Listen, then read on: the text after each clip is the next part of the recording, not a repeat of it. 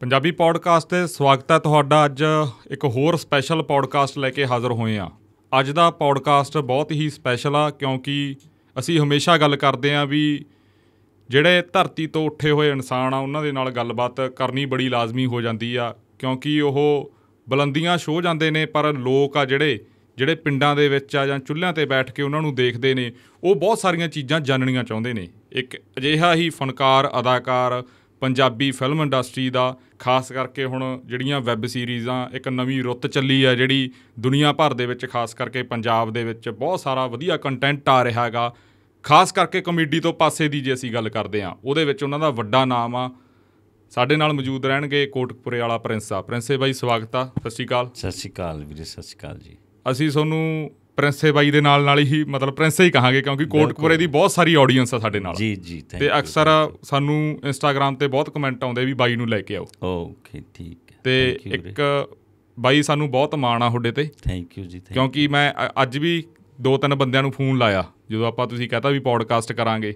ਬਗਰਾੜੀ ਬਾਈ ਗੁੜ ਹੋਣਾ ਨੂੰ ਅੱਛਾ, ਬਗਰਾੜੀ ਗੁੜ।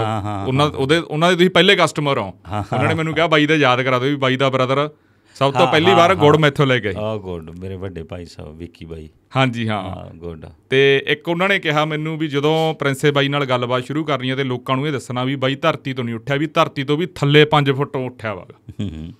ਥੈਂਕ ਯੂ ਵੀਰੇ। ਬਾਈ ਅੱਜ ਹੁਣ ਲੱਗਦਾ ਵੀ ਮਿਹਨਤ ਨੂੰ ਬਹੁਤ ਰੰਗ ਭਾਗ ਲੱਗਿਆ ਖਾਸ ਕਰਕੇ ਥੀਏਟਰ ਵਾਲੇ ਬਹੁਤ ਉਂਗਲਾਂ ਦੇ ਪੋਟਿਆਂ ਤੇ ਹੀ ਗਿਣ ਸਕਦੇ ਆ ਬਹੁਤ ਘੱਟ ਬੰਦੇ ਨੇ ਤੇ। ਬਹੁਤ ਘੱਟ ਬੰਦੇ ਆ ਜਿਨ੍ਹਾਂ ਨੂੰ ਜਿਨ੍ਹਾਂ ਦੇ ਮੁਕੱਦਰ ਐਡੇ ਬੁਲੰਦ ਹੁੰਦੇ ਆ। ਜੀ। ਨਹੀਂ ਹੋਰ ਵੀ ਬਹੁਤ ਹੈਗੇ ਆ ਥੀਏਟਰ ਵਾਲੇ ਆਪਣੇ। ਬਸ ਜਿਵੇਂ ਜਿਵੇਂ ਚੱਲੀ ਜਾਊਗਾ ਜਿਵੇਂ ਜਿਵੇਂ ਦਾ ਲੱਗੀ ਜਾਣਾ। ਹੂੰ। ਤੇ ਮੇਰੇ ਆਉਣ ਨਾਲ ਮੇਰੇ ਤੋਂ ਪਹਿਲਾਂ ਵੀ ਸੀਗੇ ਬਹੁਤ ਜਣੇ। ਜੀ। ਆਪਾਂ ਮੰਨ ਲਓ ਥੀਏਟਰ ਦੀ ਗੱਲ ਕਰੀਏ ਤਾਂ ਰਾਣਾ ਰਣਵੀਰ ਬਾਈ ਵੀ ਥੀਏਟਰ। ਤੋਂ ਸੀ। ਬਿੰਨੂ ਬਾਈ ਵੀ ਥੀਏਟਰ ਤੋਂ ਸੀ। ਦੇਵ ਖਰੋੜ ਵੀ ਥੀਏਟਰ ਤੋਂ। ਕਾਫੀ ਜਣੇ ਆਪਣੇ ਹੈ ਜਿਹੜੇ ਥੀਏਟਰ ਤੋਂ ਜੇ ਆਪਾਂ ਪਿੱਛੇ ਜਾਈਏ ਜਾਂ ਹੁਣ ਆਈਏ।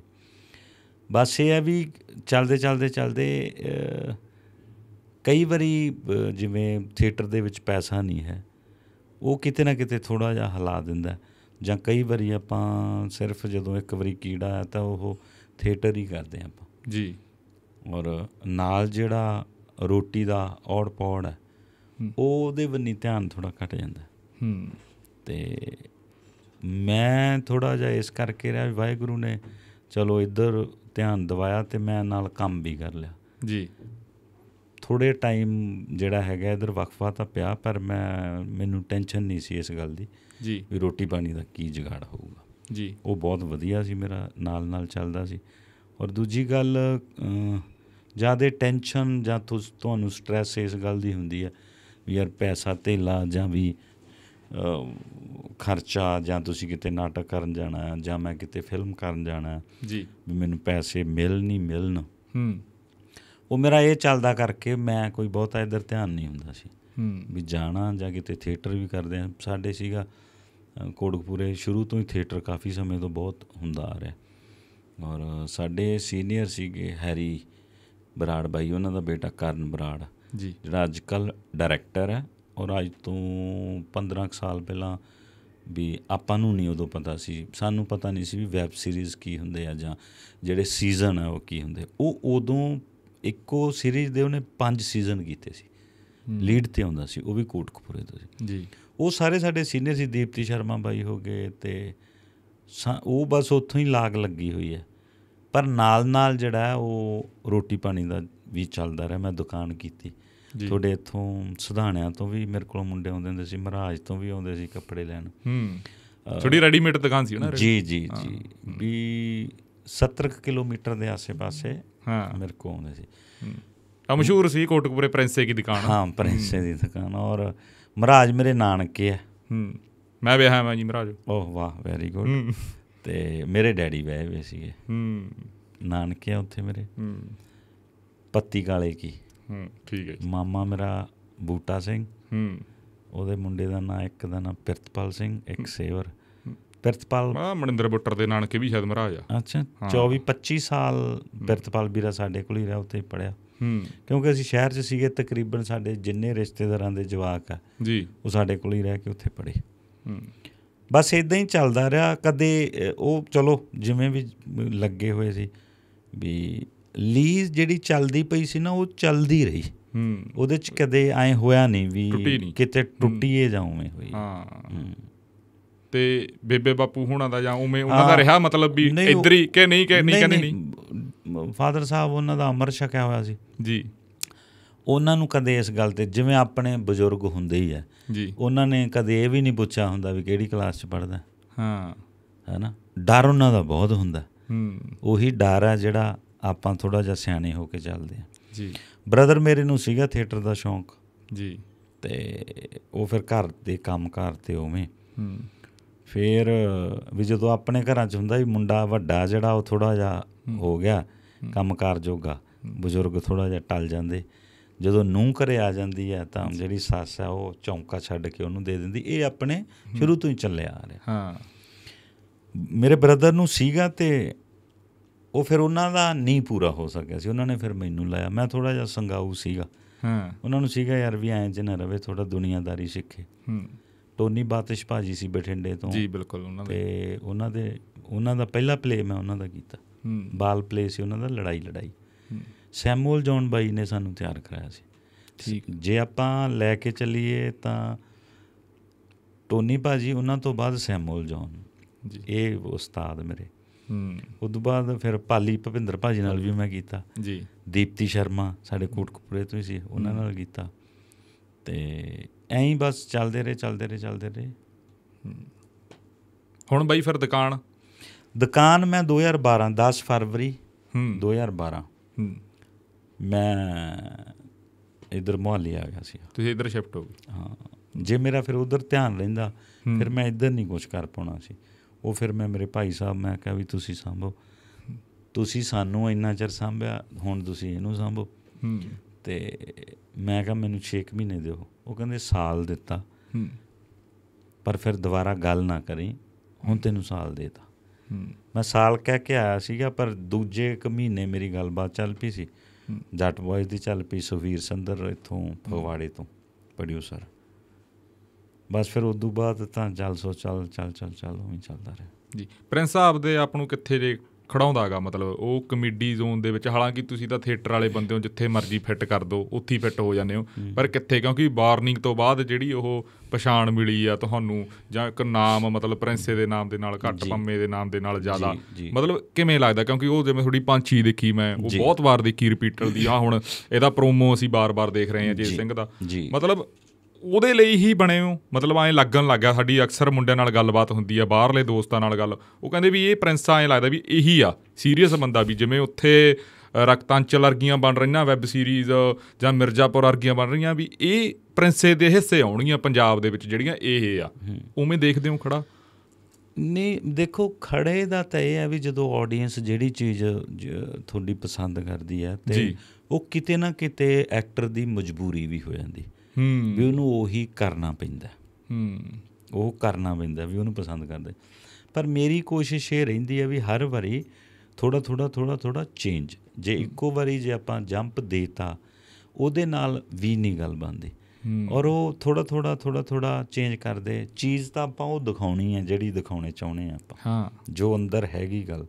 ਉਹਦੀਆਂ ਥੋੜੀਆਂ ਥੋੜੀਆਂ ਲੇਅਰ ਹੁੰਦੀਆਂ ਵੀ ਤੁਸੀਂ ਜੇ ਦੇਖੋ ਮੰਨ। ਲਓ ਵੀ ਆਪਣਾ ਵਾਰਨਿੰਗ ਦੇ ਵਿੱਚ ਵੀ। ਦੇਖੋ ਤਾਂ ਉਹ ਚ ਵੀ ਇੱਕ ਉਹ ਚੱਲਦੀ ਪਈ ਆ ਉਹ ਆਪਦੀ ਮਾਂ ਨੂੰ ਕਹਿੰਦਾ ਵੀ ਕਾਪੀਆਂ ਪੈਨ ਚੱਕਣ ਵਾਲੇ ਹੱਥਾਂ ਨਾਲ ਇੱਟਾਂ ਵੱਟੇ ਚੱਕਣੇ ਔਖੇ ਤੇ ਹਥਿਆਰ ਚੱਕਣੇ ਸੌਖੇ। ਇਹ ਵੀ ਇੱਕ ਲੇਅਰ ਪਈ ਹੈ ਸਾਡੀ ਨੌਜਵਾਨ ਪੀੜ੍ਹੀ ਦੀ। ਜਦੋਂ ਉਹਨਾਂ ਨੂੰ ਜੋ ਕਰਨਾ ਚਾਹੁੰਦੇ ਆ। ਉਹ ਕੀ ਕੋਈ ਗੱਲ ਹੈ ਜੀ। ਦੱਸ ਦਿਓ ਦੱਸ ਦਿਓ ਬਾਈ ਕੋਈ ਗੱਲ ਆ ਤਾਂ। ਤੁਸੀਂ ਚੇਤ ਚੇਤਾ ਸਿੰਘ ਹੀ ਕੋਈ ਗੱਲ ਨਹੀਂ ਕੋਈ ਚੇਤਾ ਸਿੰਘ ਹੀ ਗਿਆ ਸੀ। ਡੋਂਟ ਵਰੀ ਹੂੰ ਹੂੰ। ਤੇ ਹੁਣ ਫਿਰ ਬੈਠੇ ਰਹੋ ਅਸੀਂ ਜੋ ਮਰਜ਼ੀ ਕਹੀਏ। ਹਾਂ। ਤੇ ਹੁਣ ਬੰਦਾ ਐ ਉਹ ਹੋ ਜਾਂਦਾ ਹੁਣ ਹਾਂ। ਜੋ ਲੈ ਟੁੱਟ ਜਾਂਦੀ ਹਾਂ ਹੈ। ਵਾਰਨਿੰਗ ਦੇ ਵਿੱਚ ਜਿਵੇਂ ਸੀਗਾ ਜਾਂ ਚੱਪਲਾਂ ਵਾਲੀ ਗੱਲ ਸੀ ਜਾਂ ਉਹਦੇ ਚ ਇੱਕ ਉਹ ਸੀਗਾ ਕਹਿੰਦਾ ਵੀ ਪੰਮੇ ਦੇ ਪਿਓ ਦਾ ਸੁਪਨਾ ਨੌਕਰੀ ਲੱਗਣ ਦਾ ਸੁਪਨਾ। ਹੂੰ। ਉਹਦੀ ਚਿਖਾ ਦੇ ਨਾਲ ਹੀ ਬਲ ਗਿਆ। ਉਹ ਆਪਦੇ ਜਿਹੜੇ ਮੈਡਲ ਤੇ ਉਹ ਸਾੜ ਦਿੰਦਾ। ਸੋ ਇਸ ਕਿਸਮ ਦਾ ਸਾਡਾ ਵੀ ਸਾਡੀ ਨੌਜਵਾਨ ਪੀੜ੍ਹੀ ਕਿਤੇ ਨਾ ਕਿਤੇ ਕਿਤੇ ਨਾ ਕਿਤੇ ਜਿਹੜੀ ਭਟਕ ਜਾਂਦੀ ਹੈ ਉਹਦੇ ਪਿੱਛੇ ਕਾਰਨ ਕੀ ਹੁੰਦੇ ਆ? ਕਿਉਂ ਐ ਹੋ ਜਾਂਦੀ ਹੈ? ਸਿਨੇਮਾ ਜਿਹੜਾ ਉਹ ਮੈਨੂੰ ਲੱਗਦਾ ਵੀ ਉਹ ਸ਼ੀਸ਼ਾ ਹੈ ਤੇ ਅਸੀਂ ਇਸ ਕਰਕੇ ਹਰ ਪੱਖ ਦਿਖਾਉਣੇ ਆ। ਹੂੰ। ਉਹਦੇ ਚ ਕਈ ਵਾਰੀ ਕੁਝ 네ਗੇਟਿਵ ਚੀਜ਼ਾਂ ਹੁੰਦੀਆਂ ਕੁਝ ਪੋਜ਼ਿਟਿਵ ਹੁੰਦੀਆਂ। ਕਿਉਂਕਿ 네ਗੇਟਿਵ ਪੋਜ਼ਿਟਿਵ ਦੋਨੇ ਹੀ ਆ ਆਪਣੇ ਸਮਾਜ ਦੇ ਵਿੱਚ। ਹੂੰ। ਇਸ ਕਰਕੇ ਜਿਹੜਾ ਲੱਗਦਾ ਪਿਆ ਜ਼ੋਰ ਲੱਗਦਾ ਪਿਆ ਹਰ ਵਾਰੀ ਕੁਝ ਅਲੱਗ ਤੇ ਉਵੇਂ ਕਰਨ ਦਾ। ਔਰ ਇਹ ਗੱਲ ਪੱਕੀ ਹੈ ਵੀ ਜੋ ਦਿਮਾਗ 'ਚ ਆਪਾਂ ਧਾਰ ਕੇ ਚੱਲੇ ਆ ਵੀ ਇਸ ਕਿਸਮ ਦਾ ਸਿਨੇਮਾ ਬਣਾਉਣਾ ਉੱਥੇ ਲੈ ਜਾਣਾ ਹੈ, ਉੱਥੇ ਪਹੁੰਚ ਜਾਣਾ। ਠੀਕ ਹੈ ਵੀ ਜਦੋਂ ਸ਼ੁਰੂਆਤ ਹੋਈ ਰੋਲ ਛੋਟੇ ਸੀ ਜਾਂ ਉਵੇਂ ਸੀ ਆਪਾਂ ਉਦੋਂ ਵੀ ਨਹੀਂ ਹਟੇ। ਚਲੋ ਕਾਮਿਕ ਚ ਕਰਾਉਣ ਲੱਗ ਗਏ ਉਵੇਂ ਕਰਨ ਲੱਗ ਗਏ ਆਪਾਂ ਤਾਂ ਵੀ ਨਹੀਂ। ਰੁਕਣਾ ਨਹੀਂ ਹੈਗਾ। ਕਰਦੇ ਸਾਰਾ ਕੁਝ ਹੀ ਰਹਿਣਾ। ਕੱਲੀ ਮੂੰਗੀ ਦੀ ਦਾਲ ਵੀ ਰੋਜ਼ ਸਵਾਦ ਨਹੀਂ ਲੱਗਦੀ। ਆਪਾਂ ਗੰਢਿਆਂ ਦੀ ਤੇ ਲਾਲ ਮਿਰਚਾਂ ਦੀ ਚਟਣੀ ਵੀ ਰਗੜ ਕੇ ਖਾਣੀ ਹੈ। ਜੀ। ਆਪਾਂ। ਕਿਤੇ ਨਾ ਕਿਤੇ ਕਿਸੇ ਨੇ ਜੇ ਮੀਟ ਮੂਟ ਬਣਾਇਆ ਤੇ ਤਰੀ ਤੁਰੀ ਉਹ ਵੀ ਖਾ ਪੀ ਲੈਣੀ ਹੈ। ਹਰ ਚੀਜ਼ ਦਾ ਇੱਕ ਰੰਗ ਹੋਣਾ ਚਾਹੀਦਾ। ਪਰਮਾਤਮਾ ਨੇ ਜੇ ਸਾਨੂੰ ਸੱਤ ਰੰਗ ਦਿੱਤੇ ਆ ਤੇ ਉਹ ਤਾਂ ਇੱਕ ਹੀ ਬਣਾ ਦਿੰਦਾ। ਜੀ। ਵੀ ਇਸ ਕਰਕੇ ਰੰਗ ਆਪਾਂ ਹਰੇਕ ਰੱਖਣਾ ਟਾਈਮ ਲੱਗੂਗਾ। ਹੂੰ। ਇਹ ਇਹਦੇ ਚ ਕੋਈ ਦੋ ਰਹਿ ਨਹੀਂ ਹੈਗੀ। ਔਰ ਜਦੋਂ ਵੀ ਕਾਲ ਨਹੀਂ ਹੈਗੀ ਸਹਿਜਤਾ ਹੈਗੀ ਹੈ। ਉਹਨੇ ਜੋ ਕਰਾਉਣਾ ਜਿਵੇਂ ਕਰਾਉਣਾ ਮਿਹਨਤ ਕਰਨੀ ਪੈਣੀ ਹੈ।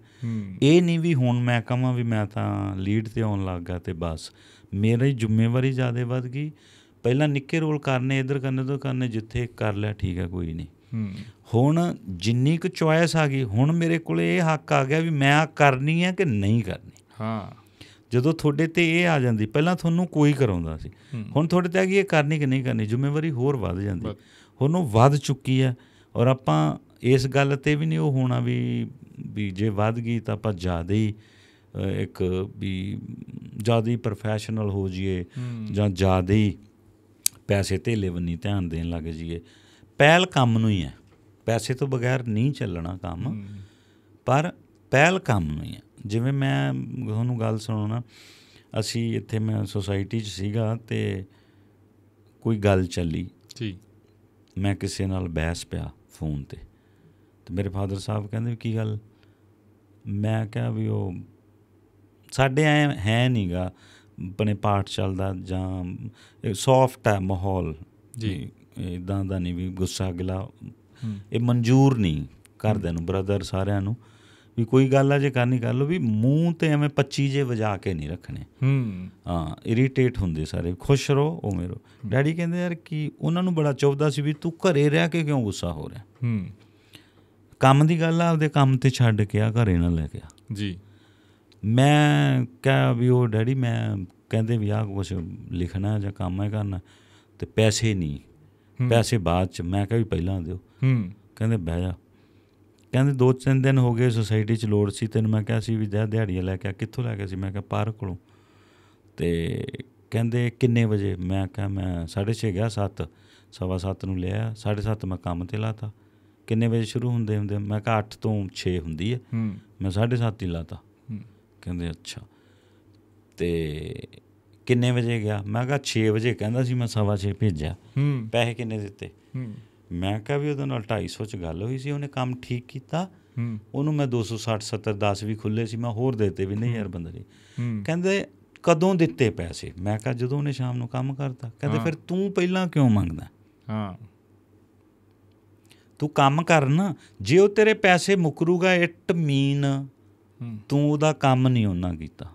ਜਾਂ ਉਹ ਤੈਨੂੰ ਘੱਟ ਦੇਊਗਾ ਤੂੰ ਕੰਮ ਉਹਨਾਂ ਨਹੀਂ ਦਿੱਤ ਕੀਤਾ। ਹੂੰ। ਤੂੰ ਕੰਮ ਹੀ ਇੰਨਾ ਕਰ ਵੀ ਉਹ ਖੁਸ਼ ਹੋ ਕੇ ਤੈਨੂੰ ਦੇਵੇ। ਹੂੰ। ਇਹੀ ਗੱਲ ਜਿਹੜੀ ਸੀਗੀ ਮੈਂ ਜਦੋਂ ਗਿੱਪੀ ਬਾਈ ਜੀ ਨਾਲ ਲੱਗਿਆ ਹਾਂ। ਆਇਆ ਤਾਂ ਮੈਂ ਇਧਰੋਂ ਧਿਆਨ ਨਹੀਂ ਹਟਾਤਾ ਵੀ ਮੈਂ ਪੈਸੇ ਜਾਏ ਹਾਲਾਂਕਿ ਚੰਡੀਗੜ੍ਹ ਰਹਿ ਕੇ ਤੁਹਾਨੂੰ ਪਤਾ ਸਰਵਾਈਵ ਕਰਨਾ ਕਿੰਨਾ ਔਖਾ। ਹੂੰ। ਮੈਂ ਹੋਰ ਪਾਸੇ ਨਿੱਕੇ ਨਿੱਕੇ ਰੋਲ ਕਰ ਲਏ ਇਧਰੋਂ ਥੋੜੇ ਮਿਲੇ ਇਧਰੋਂ ਮਿਲੇ ਉਹ ਚੱਲਦਾ ਰਿਹਾ ਪਰ ਇਹ ਧਾਰ ਲਿਆ ਵੀ ਬਾਈ ਦੇ ਨਾਲ ਯਾਰ ਆਪਾਂ ਕੰਮ ਕਰਨਾ ਨਾ ਤਾਂ ਹੀ ਕਰਨਾ। ਹੂੰ। ਧਿਆਨ ਹੀ ਨਹੀਂ ਗਿਆ। ਮੈਨੂੰ ਲੱਗਦਾ ਮੈਂ ਸਾਰੀਆਂ ਫਿਲਮਾਂ ਦੇ ਵੀ ਪੈਸੇ ਲੈਂਦਾ ਤੇ ਇੰਨੇ ਬਾਨੇ ਨਹੀਂ ਸੀ। 10-15 ਲੱਖ ਰੁਪਈਆ ਲੈ ਜਾਂਦਾ ਵੱਧ ਤੋਂ ਵੱਧ 2-4 ਸਾਲਾਂ 'ਚ 20-25 ਲੈ ਜਾਂਦਾ। ਉਹਨਾਂ ਨੇ 2-4 ਕਰੋੜ ਪਹਿਲਾਂ ਲਾਇਆ ਮੇਰੇ ਤੇ ਹੁਣ ਵਾਰਨਿੰਗ 2 ਕੀਤੀ ਹੈ 6 ਕਰੋੜ ਰੁਪਈਆ ਹੁਣ ਲਾਇਆ। ਹੂੰ। ਗੱਲ ਉੱਥੇ ਹੀ ਸੀਗੀ ਉਹ ਗੱਲ ਪੱਲੇ ਬੰਨ ਲਈ। ਉਹ ਕਹਿੰਦੇ ਕੰਮ ਕਰੋ ਪੈਸਾ ਪਿੱਛੇ ਆਊਗਾ। ਹਾਂ। ਪੈਸੇ ਪਿੱਛੇ ਜਾਓਗੇ ਕੰਮ ਨਹੀਂ ਹੋਊਗਾ। ਹੂੰ। ਕੰਮ ਤਾਂ ਕਰੋ। ਹਾਂ। ਮੰਨ ਲਓ ਤੁਸੀਂ ਹੁਣ ਇਹ ਆਪਦਾ ਚਲਾਉਣੇ ਆ। ਹਾਂਜੀ। ਇਹ YouTube ਤੇ ਪਾਉਣੇ ਆ ਲੋਕ ਦੇਖਦੇ ਆ ਫੇਰ ਹੀ ਤੁਹਾਨੂੰ ਪੈਸੇ ਆਉਂਦੇ। ਜਿੰਨੇ ਵੀ ਆਉਂਦੇ। ਹੂੰ। ਇਹ ਤਾਂ ਹੈ ਨਹੀਂ ਵੀ ਤੁਸੀਂ ਉਹਨਾਂ ਨੂੰ ਫੋਨ ਕਰਦੇ ਵੀ ਮੈਂ ਅੱਜ ਰਿਕਾਰਡਿੰਗ ਕਰ ਲਈ ਲਿਓ ਪਾਓ ਕਰਾਂ। ਹਾਂ। ਹੈਨਾ ਹੂੰ ਵੀ ਫੇਰ ਦੇਖਾਂਗੇ। ਫੇਰ ਦੇਖਾਂਗੇ। ਨਾ। ਇੱਕ ਬਾਈ ਹੋਰ ਗੱਲ ਆ ਜਿਹੜੀ ਆ ਸਾਰੀਆਂ ਗੱਲਾਂ ਕਰੀਆਂ ਇੱਕ ਉਹ ਗੋਲ ਚੱਕਰ ਤੇ ਤੁਸੀਂ ਪਹੁੰਚ ਗਏ ਜਿੱਥੇ ਮੈਂ ਪਹੁੰਚਾਉਣਾ ਚਾਹੁੰਦਾ ਸੀ ਜਿਵੇਂ ਪੰਜਾਬ ਦੀ ਆਪਾਂ ਗੱਲ ਕਰਦੇ ਆ। ਪੰਜਾਬ ਦੀ ਤੁਸੀਂ ਸਟਾਰ ਹੋ। ਤੇ ਪੰਜਾਬ ਦੀ ਹਮੇਸ਼ਾ ਰਹਿਣਾ ਤੇ ਦੁਨੀਆ 'ਚ ਫੇਰ ਉਸ ਹਿਸਾਬ ਨਾਲ ਤੁਸੀਂ ਵਿਚਰੋਗੇ ਜੇ ਆਪਾਂ ਪੈਨ ਇੰਡੀਆ ਗੱਲ ਕਰਦੇ ਆ ਜਿਹੜੀ ਗੱਲ ਖਾਸ ਕਰਕੇ ਮੁਹਾਲੀ ਹੁਣ ਫਲੈਟਾਂ ਦੇ ਵਿੱਚ ਡਿਸਕਸ ਹੁੰਦੀ ਹੈ ਵੀ ਬੰਬੇ ਬੰਬੇ ਬੰਬੇ ਕਦੋਂ ਜਾਵਾਂਗੇ ਹਨਾ? ਮਤਲਬ ਪੰਜਾਬ ਦਾ ਜਿਹੜੀ ਆਡੀਅנס ਆ ਉਹ ਬੜਾ ਸੱਚ ਦੇਖਣਾ ਚਾਹੁੰਦੀ ਆ। ਸੱਚ ਦੇ ਨੇੜੇ ਤੇੜੇ ਵਾਲਾ ਬੜਾ ਕੁਝ ਦੇਖਣਾ ਚਾਹੁੰਦੀ ਆ। ਤੇ ਮੈਂ ਗਿੱਪੀ ਗਰੇਵਾਲ ਦਾ ਇੱਕ ਅੱਜ ਹੀ ਸਵੇਰੇ ਸੁਣ ਰਿਹਾ ਸੀ ਕੋਈ ਬਾਈਟ ਸੀ। ਸ਼ਾਇਦ ਵਾਰਨਿੰਗ ਟਿਊਬ ਨੂੰ ਲੈ ਕੇ ਪਤਾ ਨਹੀਂ ਉਹ ਕਹਿੰਦੇ ਵੀ ਸਾਨੂੰ ਬਹੁਤ ਜਿੱਦ ਬਹਿਸ ਕਰਨੀ ਪਈ ਜਦੋਂ ਸੈਂਸਰ ਕੋਲੇ ਅਸੀਂ ਗਏ। ਜੀ ਜੀ ਮਤਲਬ ਜਿਹੜਾ ਉਹ ਘੇਰਾਗਾ। ਹੁਣ ਜਿਵੇਂ ਤੁਹਾਨੂੰ ਪਤਾਗਾ ਵੀ ਪਿੰਡ ਦੇ ਵਿੱਚ ਬੰਦਾ ਬੈਠਾ ਉਹ ਕਿਵੇਂ ਗਰੀਬੀ ਚ ਉੱਠਿਆ ਜਾਂ ਕਿਸਾਨਾਂ ਦੀ ਕੀ ਹਾਲਤ ਤੁਹਾਡੇ ਕੋਲੇ ਬਹੁਤ ਆ ਤਜਰਬਾਗਾ ਜਿਵੇਂ ਤੁਸੀਂ ਆ ਪਿੰਡਾਂ ਦੇ ਨਾਲ ਆਏ ਤੇ ਪਿੰਡਾਂ ਵਾਲਿਆਂ ਨੂੰ ਬਹੁਤ ਵਧੀਆ ਲੱਗਣਾ ਅੱਛਾ ਪ੍ਰਿੰਸ ਸਾਡੇ ਪਿੰਡ ਨੂੰ ਵੀ ਜਾਣਦਾ। ਉਹ ਜਿਹੜੀ ਚੀਜ਼ ਆ ਤਾਂ ਉਹ ਜੋ ਸੈਂਸਰ ਕੋਲੇ ਜਾਂਦੀ ਹੈ ਜਾਂ ਉਹ ਬੰਦਿਸ਼ ਦੇ ਵਿੱਚ ਉੱਥੇ ਫਿਰ ਕਿਵੇਂ ਆਪਾਂ ਐਡਜਸਟਮੈਂਟ ਕਰ ਰਹੇ ਆ ਨਹੀਂ ਦੇਖੋ ਮੈਂ ਤੁਹਾਨੂੰ ਦੱਸਦਾ ਜਿਹੜੇ ਰੂਲ ਰੈਗੂਲੇਸ਼ਨ ਬਣੀ ਹੋਈ ਹਾਂ। ਸਾਡੇ ਬਹੁਤ ਘੱਟ ਪਤਾ ਹੈ ਵੀ ਜਿਹੜੀਆਂ ਰੀਜਨਲ ਫਿਲਮਾਂ ਹੈ, ਜੀ। ਉਹਨਾਂ ਤੇ ਥੋੜੇ ਜੇ ਸਖਤਾਈ ਹੁੰਦੀ ਹੈ। ਹੂੰ। ਜਿਵੇਂ ਆਪਾਂ ਜੇ ਧਿਆਨ ਹੋਵੇ ਤਾਂ ਦੂਰਦਰਸ਼ਨ ਦੇ ਉੱਤੇ ਜਿਹੜੇ ਗਾਣੇ ਚੱਲਦੇ ਸੀਗੇ ਇੱਕ ਟਾਈਮ ਸੀ ਮੇਲਾ ਮੇਲੀਆਂ ਦਾ ਹੋਰ ਇੱਕ ਟਾਈਮ ਸੀ। ਟਾਈਮ ਸੀਗਾ ਵੀ ਉੱਥੇ ਗਾਣਾ ਚੱਲ ਗਿਆ ਜਾਂ ਖਾੜਾ ਜਾਂ ਲੱਗ ਗਿਆ ਤੇ ਓਕੇ ਹੈ ਕੰਮ। ਹੂੰ। ਠੀਕ ਹੈ। ਜਿਵੇਂ ਸਾਡੇ ਕੋਟਕਪੂਰੇ ਦਾ ਮੁੰਡਾ ਸੀਗਾ ਸੁੱਚਾ। ਹੂੰ।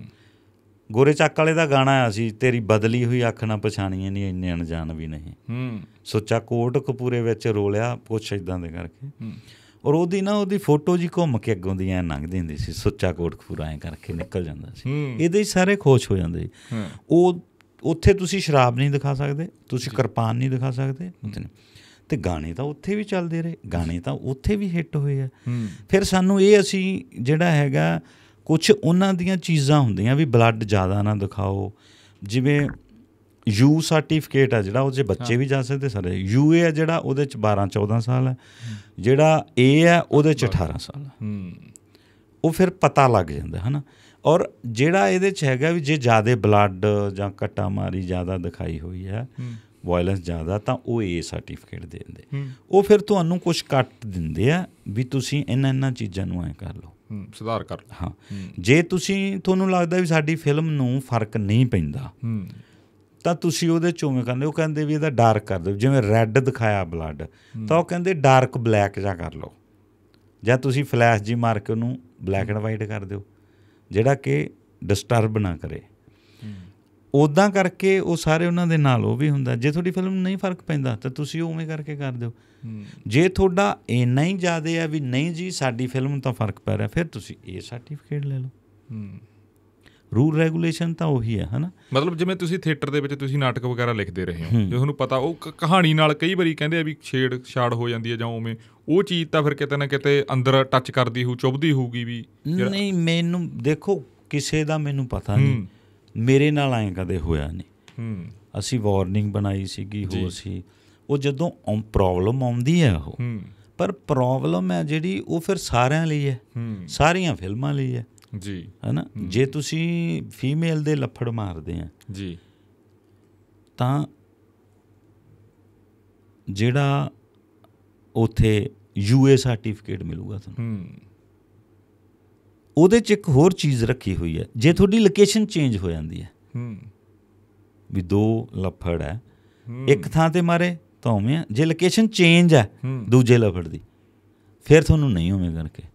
ਉਹਦੇ ਚ ਹਰ ਚੀਜ਼ ਹੀ ਉਵੇਂ ਕਰਕੇ ਇੱਕ ਰੂਲ ਰੈਗੂਲੇਸ਼ਨ ਬਣੀ। ਮੇਰੇ ਨਾਲ ਕਦੇ ਐ ਹੋਇਆ ਨਹੀਂਗਾ ਵੀ ਇਦਾਂ ਵੀ ਜਾਂ ਮੈਂ ਪਹਿਲਾਂ ਹੀ ਮਾਨ ਬਣਾ ਕੇ ਹੀ ਚੱਲਦਾ ਵੀ ਇੱਥੇ ਮੈਨੂੰ ਬਾਲੀ ਖਪਾਈ ਮੈਨੂੰ ਟੈਨਸ਼ਨ ਲੈਣ ਦੀ ਲੋੜ ਨਹੀਂ। ਹੂੰ। ਇੱਥੇ ਬੋਝ ਲੈਣਾ ਹੈ, ਭੱਜ ਨੱਠ ਕਰਨੀ ਜਿਵੇਂ ਹੁਣ ਚੇਤਾ ਸਿੰਘ ਆ ਰਹੀ ਹੈ। ਇਹ ਪਿਛਲੇ ਡੇਢ ਸਾਲ 2 ਸਾਲ ਹੋ ਗਏ ਬਣੀ ਨੂੰ। ਔਰ ਅੱਜ ਵੀ ਵੀਰਾ ਆਪਣਾ ਡਾਇਰੈਕਟਰ ਆਸ਼ੀਸ਼ ਕੁਮਾਰ ਹਨਾ ਬੰਟੀ? ਅੱਜ ਵੀ ਅਸੀਂ ਵੀ ਦੁਬਾਰਾ ਜਦੋਂ ਉਹ 2 ਸਾਲ ਪਹਿਲਾਂ ਹੋਰ ਟ੍ਰੈਂਡ ਸੀ। ਹੂੰ। ਹੁਣ ਦੁਬਾਰਾ ਫਿਰ ਅਸੀਂ ਉਹਦਾ ਸਕਰੀਨ ਪਲੇ ਦੁਬਾਰਾ ਕਰਕੇ ਦੇਖ ਕੇ ਉਹਨੂੰ ਦੁਬਾਰਾ ਐਡਿਟ ਕਰਵਾਇਆ। ਹੂੰ। ਹੁਣ ਦੇ ਹਿਸਾਬ ਨਾਲ ਵੀ ਹੁਣ ਸਕਰੀਨ ਪਲੇ ਥੋੜਾ ਫਾਸਟ ਇਦਾਂ ਇਦਾਂ ਚੱਲ ਰਿਹਾ ਇਦਾਂ ਚੱਲ ਰਿਹਾ ਇਦਾਂ ਚੱਲ ਰਿਹਾ। ਫਿਰ ਐਡਿਟ ਕਰਕੇ ਫਿਰ ਉਵੇਂ ਕੀਤਾ। ਜਿਵੇਂ ਪਹਿਲਾਂ ਜਿਹੜੇ ਸਿੰਗਰ ਹੁੰਦੇ ਸੀ ਉਹਨਾਂ ਦੇ 2 ਸਾਲ ਪਹਿਲਾਂ ਕੋਈ ਗਾਣਾ ਹੋਇਆ ਹੁੰਦਾ ਰਿਲੀਜ਼ ਹੁੰਦਿਆਂ 2 ਸਾਲ ਹੋ ਗਏ ਉਦੋਂ ਨੂੰ ਰਿਵਾਜ ਜਾ ਵੜਦਾ ਸੀ। ਹੂੰ।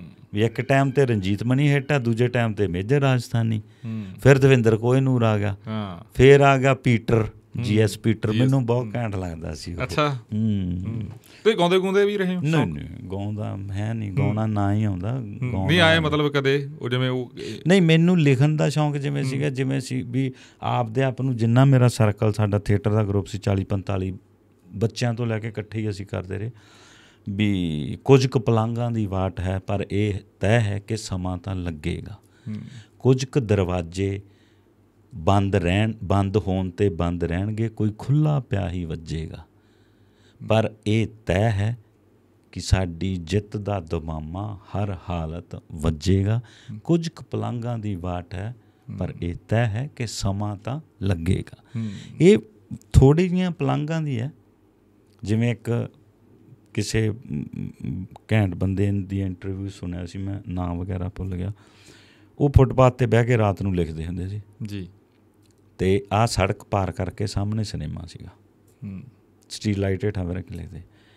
ਜਿਹੜੀ ਉਹ ਕਹਾਣੀ ਲਿਖਦੇ ਸੀਗੇ ਕਰਦੇ ਕਰਦੇ ਕਰਦੇ ਕਰਦੇ 12 15 ਸਾਲ ਲੱਗੇ ਉਹਦੇ ਤੇ ਫਿਲਮ ਬਣੀ ਫਿਲਮ ਹਿੱਟ ਹੋਈ ਤੇ ਉਹਨਾਂ ਨੂੰ ਸਿਨੇਮੇ 'ਚ ਸੱਦਿਆ ਗਿਆ। ਉਹਨੇ ਗੱਲ ਕੀਤੀ ਕਹਿੰਦਾ ਵੀ ਮੈਨੂੰ 12 13 ਸਾਲ ਲੱਗ ਗਏ ਇੱਥੋਂ ਸੜਕ ਪਾਰ ਕਰਨ ਲਈ। ਜੀ। ਔਰ ਸਾਨੂੰ ਇਹ ਤੈਅ ਹੋਣਾ ਚਾਹੀਦਾ ਵੀ ਸਾਡਾ ਮਕਸਦ ਕੀ ਹੈ ਅਸੀਂ ਕੀ ਕਰਨਾ ਤੇ ਦੇਖੋ ਟਾਈਮ ਤਾਂ ਲੱਗਦਾ। ਸਹਿਜ ਪਗੇ ਸੋ ਮੀਠਾ ਹੋਏ। ਪਰ ਇੱਕ ਹੋਣਾ ਚਾਹੀਦਾ ਤੁਹਾਨੂੰ ਉੱਥੋਂ ਤੱਕ ਪਹੁੰਚਣਾ ਪਊਗਾ ਨਹੀਂ ਕੋਈ ਗੱਲ ਨਹੀਂ ਲੱਗੇ ਰਹਿਣਾ ਕੋਈ ਗੱਲ ਨਹੀਂ ਲੱਗੇ ਰਹਿਣਾ ਟਾਈਮ ਆਊਗਾ। ਮੈਨੂੰ ਇੱਕ ਹੋਰ ਵੀ ਲੱਗਦਾ ਜਿਵੇਂ ਤੁਸੀਂ ਨਾਮ ਲਿਆ ਪਹਿਲਾਂ ਗੋਰੇ ਚੱਕ ਵਾਲੇ ਬਾਈ ਦਾ ਲਿਆ ਮੇਜਰ ਰਾਜਸਥਾਨੀ ਹੋਣਾ ਦਾ ਉਹ ਇੱਥੋਂ ਦੀ ਸੀ ਰਾਮਪੁਰੇ ਦੇ। ਤੇ ਪੀਟਰ ਸਾਹਿਬ ਦਾ ਲਿਆ ਕੋਈ ਤੁਸੀਂ ਬੂਟਾ ਭਾਈ ਰੂਪਾ। ਬੂਟਾ ਭਾਈ ਰੂਪਾ ਹਾਂ। ਦੀਪਾ ਕੋਲੀਆ ਹਾਂ ਦੀਪਾ ਕੋਲ ਦੀਪੇ ਨਾਲ ਬਹੁਤ ਯਾਰੀ ਸੀ ਮੇਰੀ। ਹੂੰ। ਉਦੋਂ ਮੈਨੂੰ ਬੜਾ ਸ਼ੌਂਕ ਹੁੰਦਾ ਸੀਗਾ ਵੀ ਦੀਪੇ ਦੀ ਫੋਟੋ ਇੱਕ ਹੀ ਲੱਗੀ ਹੁੰਦੀ ਸੀ ਬੜੀ ਘੈਂਟ ਫੋਟੋ ਲੱਗੀ ਹੁੰਦੀ ਸੀ ਕੈਸਟ। ਦੇ ਪਿੱਛੇ। ਹਾਂ ਉੱਤੇ ਪ੍ਰੈਜੈਂਟੇਸ਼ਨ ਹੂੰ। ਫੇਰ ਮੁੰਡੇ ਸੀਗੇ ਮੁਸਾਫਰ ਬੈਂਡ ਵਾਲੇ ਉਹ ਸੇਖੇ ਦੇ ਬਰਨਾਲੇ ਦੇ ਨਾਲ ਹੀ ਪਿੰਡ ਜੀ। ਸੋਨੀ ਤੇ ਲੱਜਾ। ਉਹਨਾਂ ਦੀ ਪਹਿਲੀ ਕੈਸਟ ਆਈ ਉਹ ਆਪਸ ਚ ਮਾੜਾ ਮੋਟਾ ਚਲੋ ਉਵੇਂ ਹੋ ਗਿਆ ਤੇ ਉਹ ਬੋਲਣੋਂ ਹਟ ਗਏ। ਮੈਨੂੰ ਪਤਾ ਲੱਗਿਆ ਹਾਂ। ਵੀ ਉਹ ਦੋ ਮੁੰਡੇ ਇੱਥੋਂ ਦੇ ਮੈਂ ਪਾਕਿਸਤਾਨ ਦੇ ਸਮਝਦਾ ਸੀ। ਅੱਛਾ ਜੀ। ਮੈਂ ਉਹਨਾਂ ਕੋਲ ਜਾ ਵੜਿਆ। ਉਹ ਦੋਨਾਂ ਦੀ ਯਾਰੀ ਪਵਾਈ ਫਿਰ ਮੇਰਾ ਦੋਸਤ ਸੀ ਉਹਦੇ ਤੋਂ ਪੈਸੇ ਲਵਾਏ ਉਹਨਾਂ ਦੇ। ਫਿਰ ਉਹਨਾਂ ਦੀ ਕੈਸਟ ਕੀਤੀ। ਵੀ ਉਹ ਵੈਸੇ ਹੀ ਮੇਰੇ ਸ਼ੁਰੂ ਤੋਂ ਰਹਿੰਦਾ ਸੀਗਾ ਮਨ ਚ ਐ ਕਰਕੇ। ਉਹ ਰੁੱਤ ਚ ਮੈਨੂੰ ਲੱਗਦਾ ਤੁਸੀਂ ਪੂਰੇ ਉਹ ਹੋਵੋਗੇ ਜਿਵੇਂ ਆਪਾਂ ਕਹਿੰਦੇ ਬੰਦੇ ਦੇ ਅੰਦਰ ਅੱਗ ਜਿਵੇਂ ਅੱਗ ਤਾਂ ਚਲੋ ਹੁਣ ਵੀ ਤੁਹਾਡੇ ਅੰਦਰ ਜਦੋਂ ਸੈਡ ਸੈਡ ਜ਼ਮਾਨਾ ਸੀ ਮੈਂ ਨਾਮ ਤਾਂ ਦੇਖ ਰਿਹਾ ਵੀ ਗੋਰੇ ਜੱਕਲ ਦਾ ਨਾਮ ਲਿਆ। ਨਹੀਂ ਉਦੋਂ ਉਦੋਂ ਅਸਲ ਚ ਮੈਂ ਅਬੋਰ ਪੜਦਾ ਸੀ ਜਦੋਂ ਇਹ ਕੈਸਟ ਆਈਆਂ। ਹੂੰ। ਤੇ ਥੀਏਟਰ ਹੋਰ 92 ਡੀਏ ਵੀ ਪੜ੍ਹੇ ਤੁਸੀਂ? ਨਹੀਂ ਨਹੀਂ। ਮੈਂ ਹੋਮੋਪੈਥੀ ਕਾਲਜ ਡਿਪਲੋਮਾ ਕਰਦਾ ਸੀ। ਤੇ ਉਹ ਉੱਥੇ ਜਿਵੇਂ ਵੀ ਆਪਣਾ ਵਾਲ ਵੱਡੇ ਵੱਡੇ ਹੂੰ। ਪੋਨੀ ਹੂੰ। ਤੇ ਸਾਈਕਲ ਜਾਂ ਹੁੰਦਾ ਸੀ ਉਹਦੇ ਪਿੱਛੇ ਲਿਖਿਆ ਹੁੰਦਾ ਸੀ ਪਲੇਟ ਲਾ ਕੇ ਬੈਡ ਬॉय ਹਾਂ। ਆ ਵੈਸੇ ਹੀ ਐਵੇਂ ਆਪਦੇ ਸ਼ੁਰੂ ਫਿਲਮੀ ਮੈਂ ਸ਼ੁਰੂ ਤੋਂ ਹੀ ਰਿਹਾ। ਹਾਂ। ਮੈਂ ਸ਼ੁਰੂ ਤੋਂ ਫਿਲਮੀ ਰਿਹਾ। ਆਪਦੀ ਦੁਨੀਆ ਹੁੰਦੀ ਹੈ ਮੇਰੀ। ਹੂੰ। ਮੈਂ ਉਹਦੇ 'ਚ ਮਜ਼ੇ ਕਰਨੇ ਹੁੰਦੇ ਆ, ਆਪਾਂ ਆਪਦੇ ਉਹਦੇ 'ਚ ਰਹੀਦਾ। ਤੇ ਉੱਥੇ ਜਿਵੇਂ ਸੀਗੇ ਤੇ ਇਹ ਸਾਰੇ ਜਣੇ ਉਦੋਂ ਹੀ ਆਏ। ਹੂੰ। ਦਵਿੰਦਰ ਕੋਹਨੂਰ ਹੋਰ ਸਾਰੇ। ਦੀਪਾ ਕੋਲੀਆ ਔਰ ਦੀਪੇ ਕੋਲੀ ਨੂੰ ਅਸੀਂ ਬਠਿੰਡੇ ਮਿਲ ਜਾਂਦੇ ਸੀ। ਬੂਟਾ ਭਾਈ ਰੂਪਾ ਖੂਹ ਦੀ ਇੱਟ ਕੈਸਟ ਆਈ ਸੀ ਦੀਪੇ ਦੀ। ਹੂੰ। ਹਨਾ ਬੂਟੇ ਦੀ। ਤੇ ਬੂਟਾ ਬਾਈ ਉੱਥੇ ਪੋਸਟਰ ਲਾਉਂਦੇ ਫਿਰਦੇ ਸੀ ਇਹ ਕੋੜੂਪੁਰੇ ਹਾਂ। ਤੇ ਇਹਦੀ ਪੈਂਟ ਤੇ ਕੁਝ ਡੁੱਲ ਡੁੱਲ ਗਿਆ। ਤੇ ਇਹਨੂੰ ਕਿਸੇ ਨੇ ਦੱਸਿਆ ਵੀ ਤੇਰੇ ਸਾਈਜ਼ ਦੀ ਤੇ ਖੁੱਲੀ ਪੈਂਟ ਤਾਂ ਉਹਦੇ ਕੋਲੋਂ ਮਿਲੂਗੀ ਪ੍ਰਿੰਸੇ ਕੋਲੋਂ। ਉਹ ਮੇਰੇ ਕੋਲ ਲੈਣਾ ਹੈ ਮੈਨੂੰ ਦੱਸਤਾ ਮੇਰੀ ਆੜੀ ਪੈ ਗਈ। ਹਾਂ। ਬਸ ਉਸ ਤੋਂ ਬਾਅਦ ਫਿਰ ਉਹ ਮਤਲਬ ਹੁਣ ਤਾਂ ਟਾਈਮ ਹੋ ਗਿਆ ਨਹੀਂ ਮਿਲੇ।